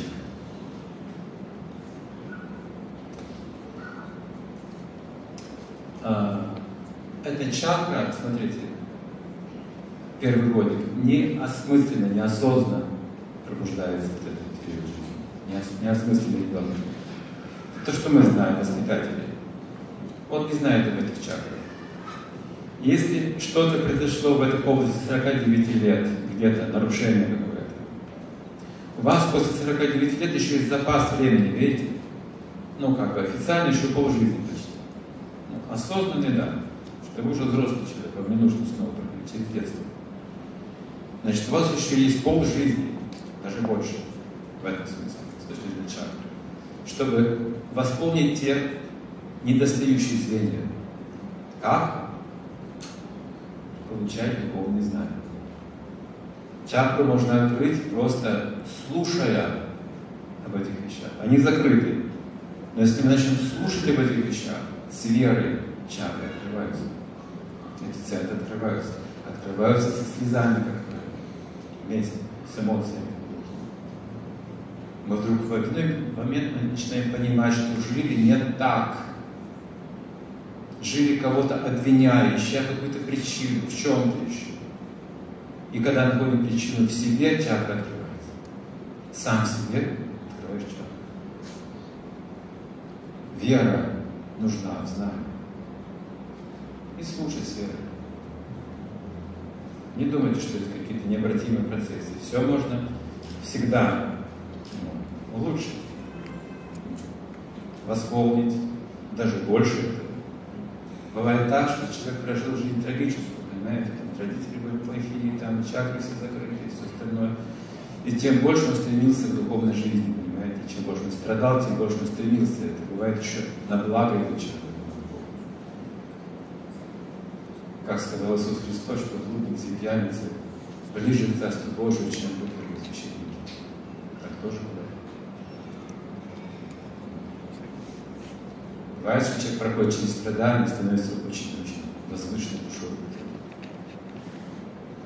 Поэтому без всяких сомнений, без всяких колебаний, сколько бы ни было нам лет, что бы там ни было в прошлом, вставайте на духовный путь. Познавайте себя. Избегайте фанатизма. Избегайте сектанства. Просто учимся любить и быть добрым ко всем. Ко всем живым существам. Хорошо, на этом мы закончим свою нашу встречу.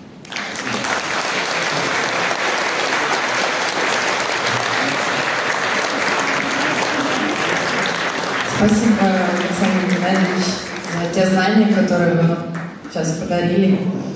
Наша лекция закончилась. Я надеюсь, все получили ответы на все вопросы, за которыми пришли сюда. Но если у вас вдруг остались еще вопросы, ответы на них вы можете найти в книгах, которые продаются на входе в зал. И там же вы можете получить автограф Александра Геннадьевича.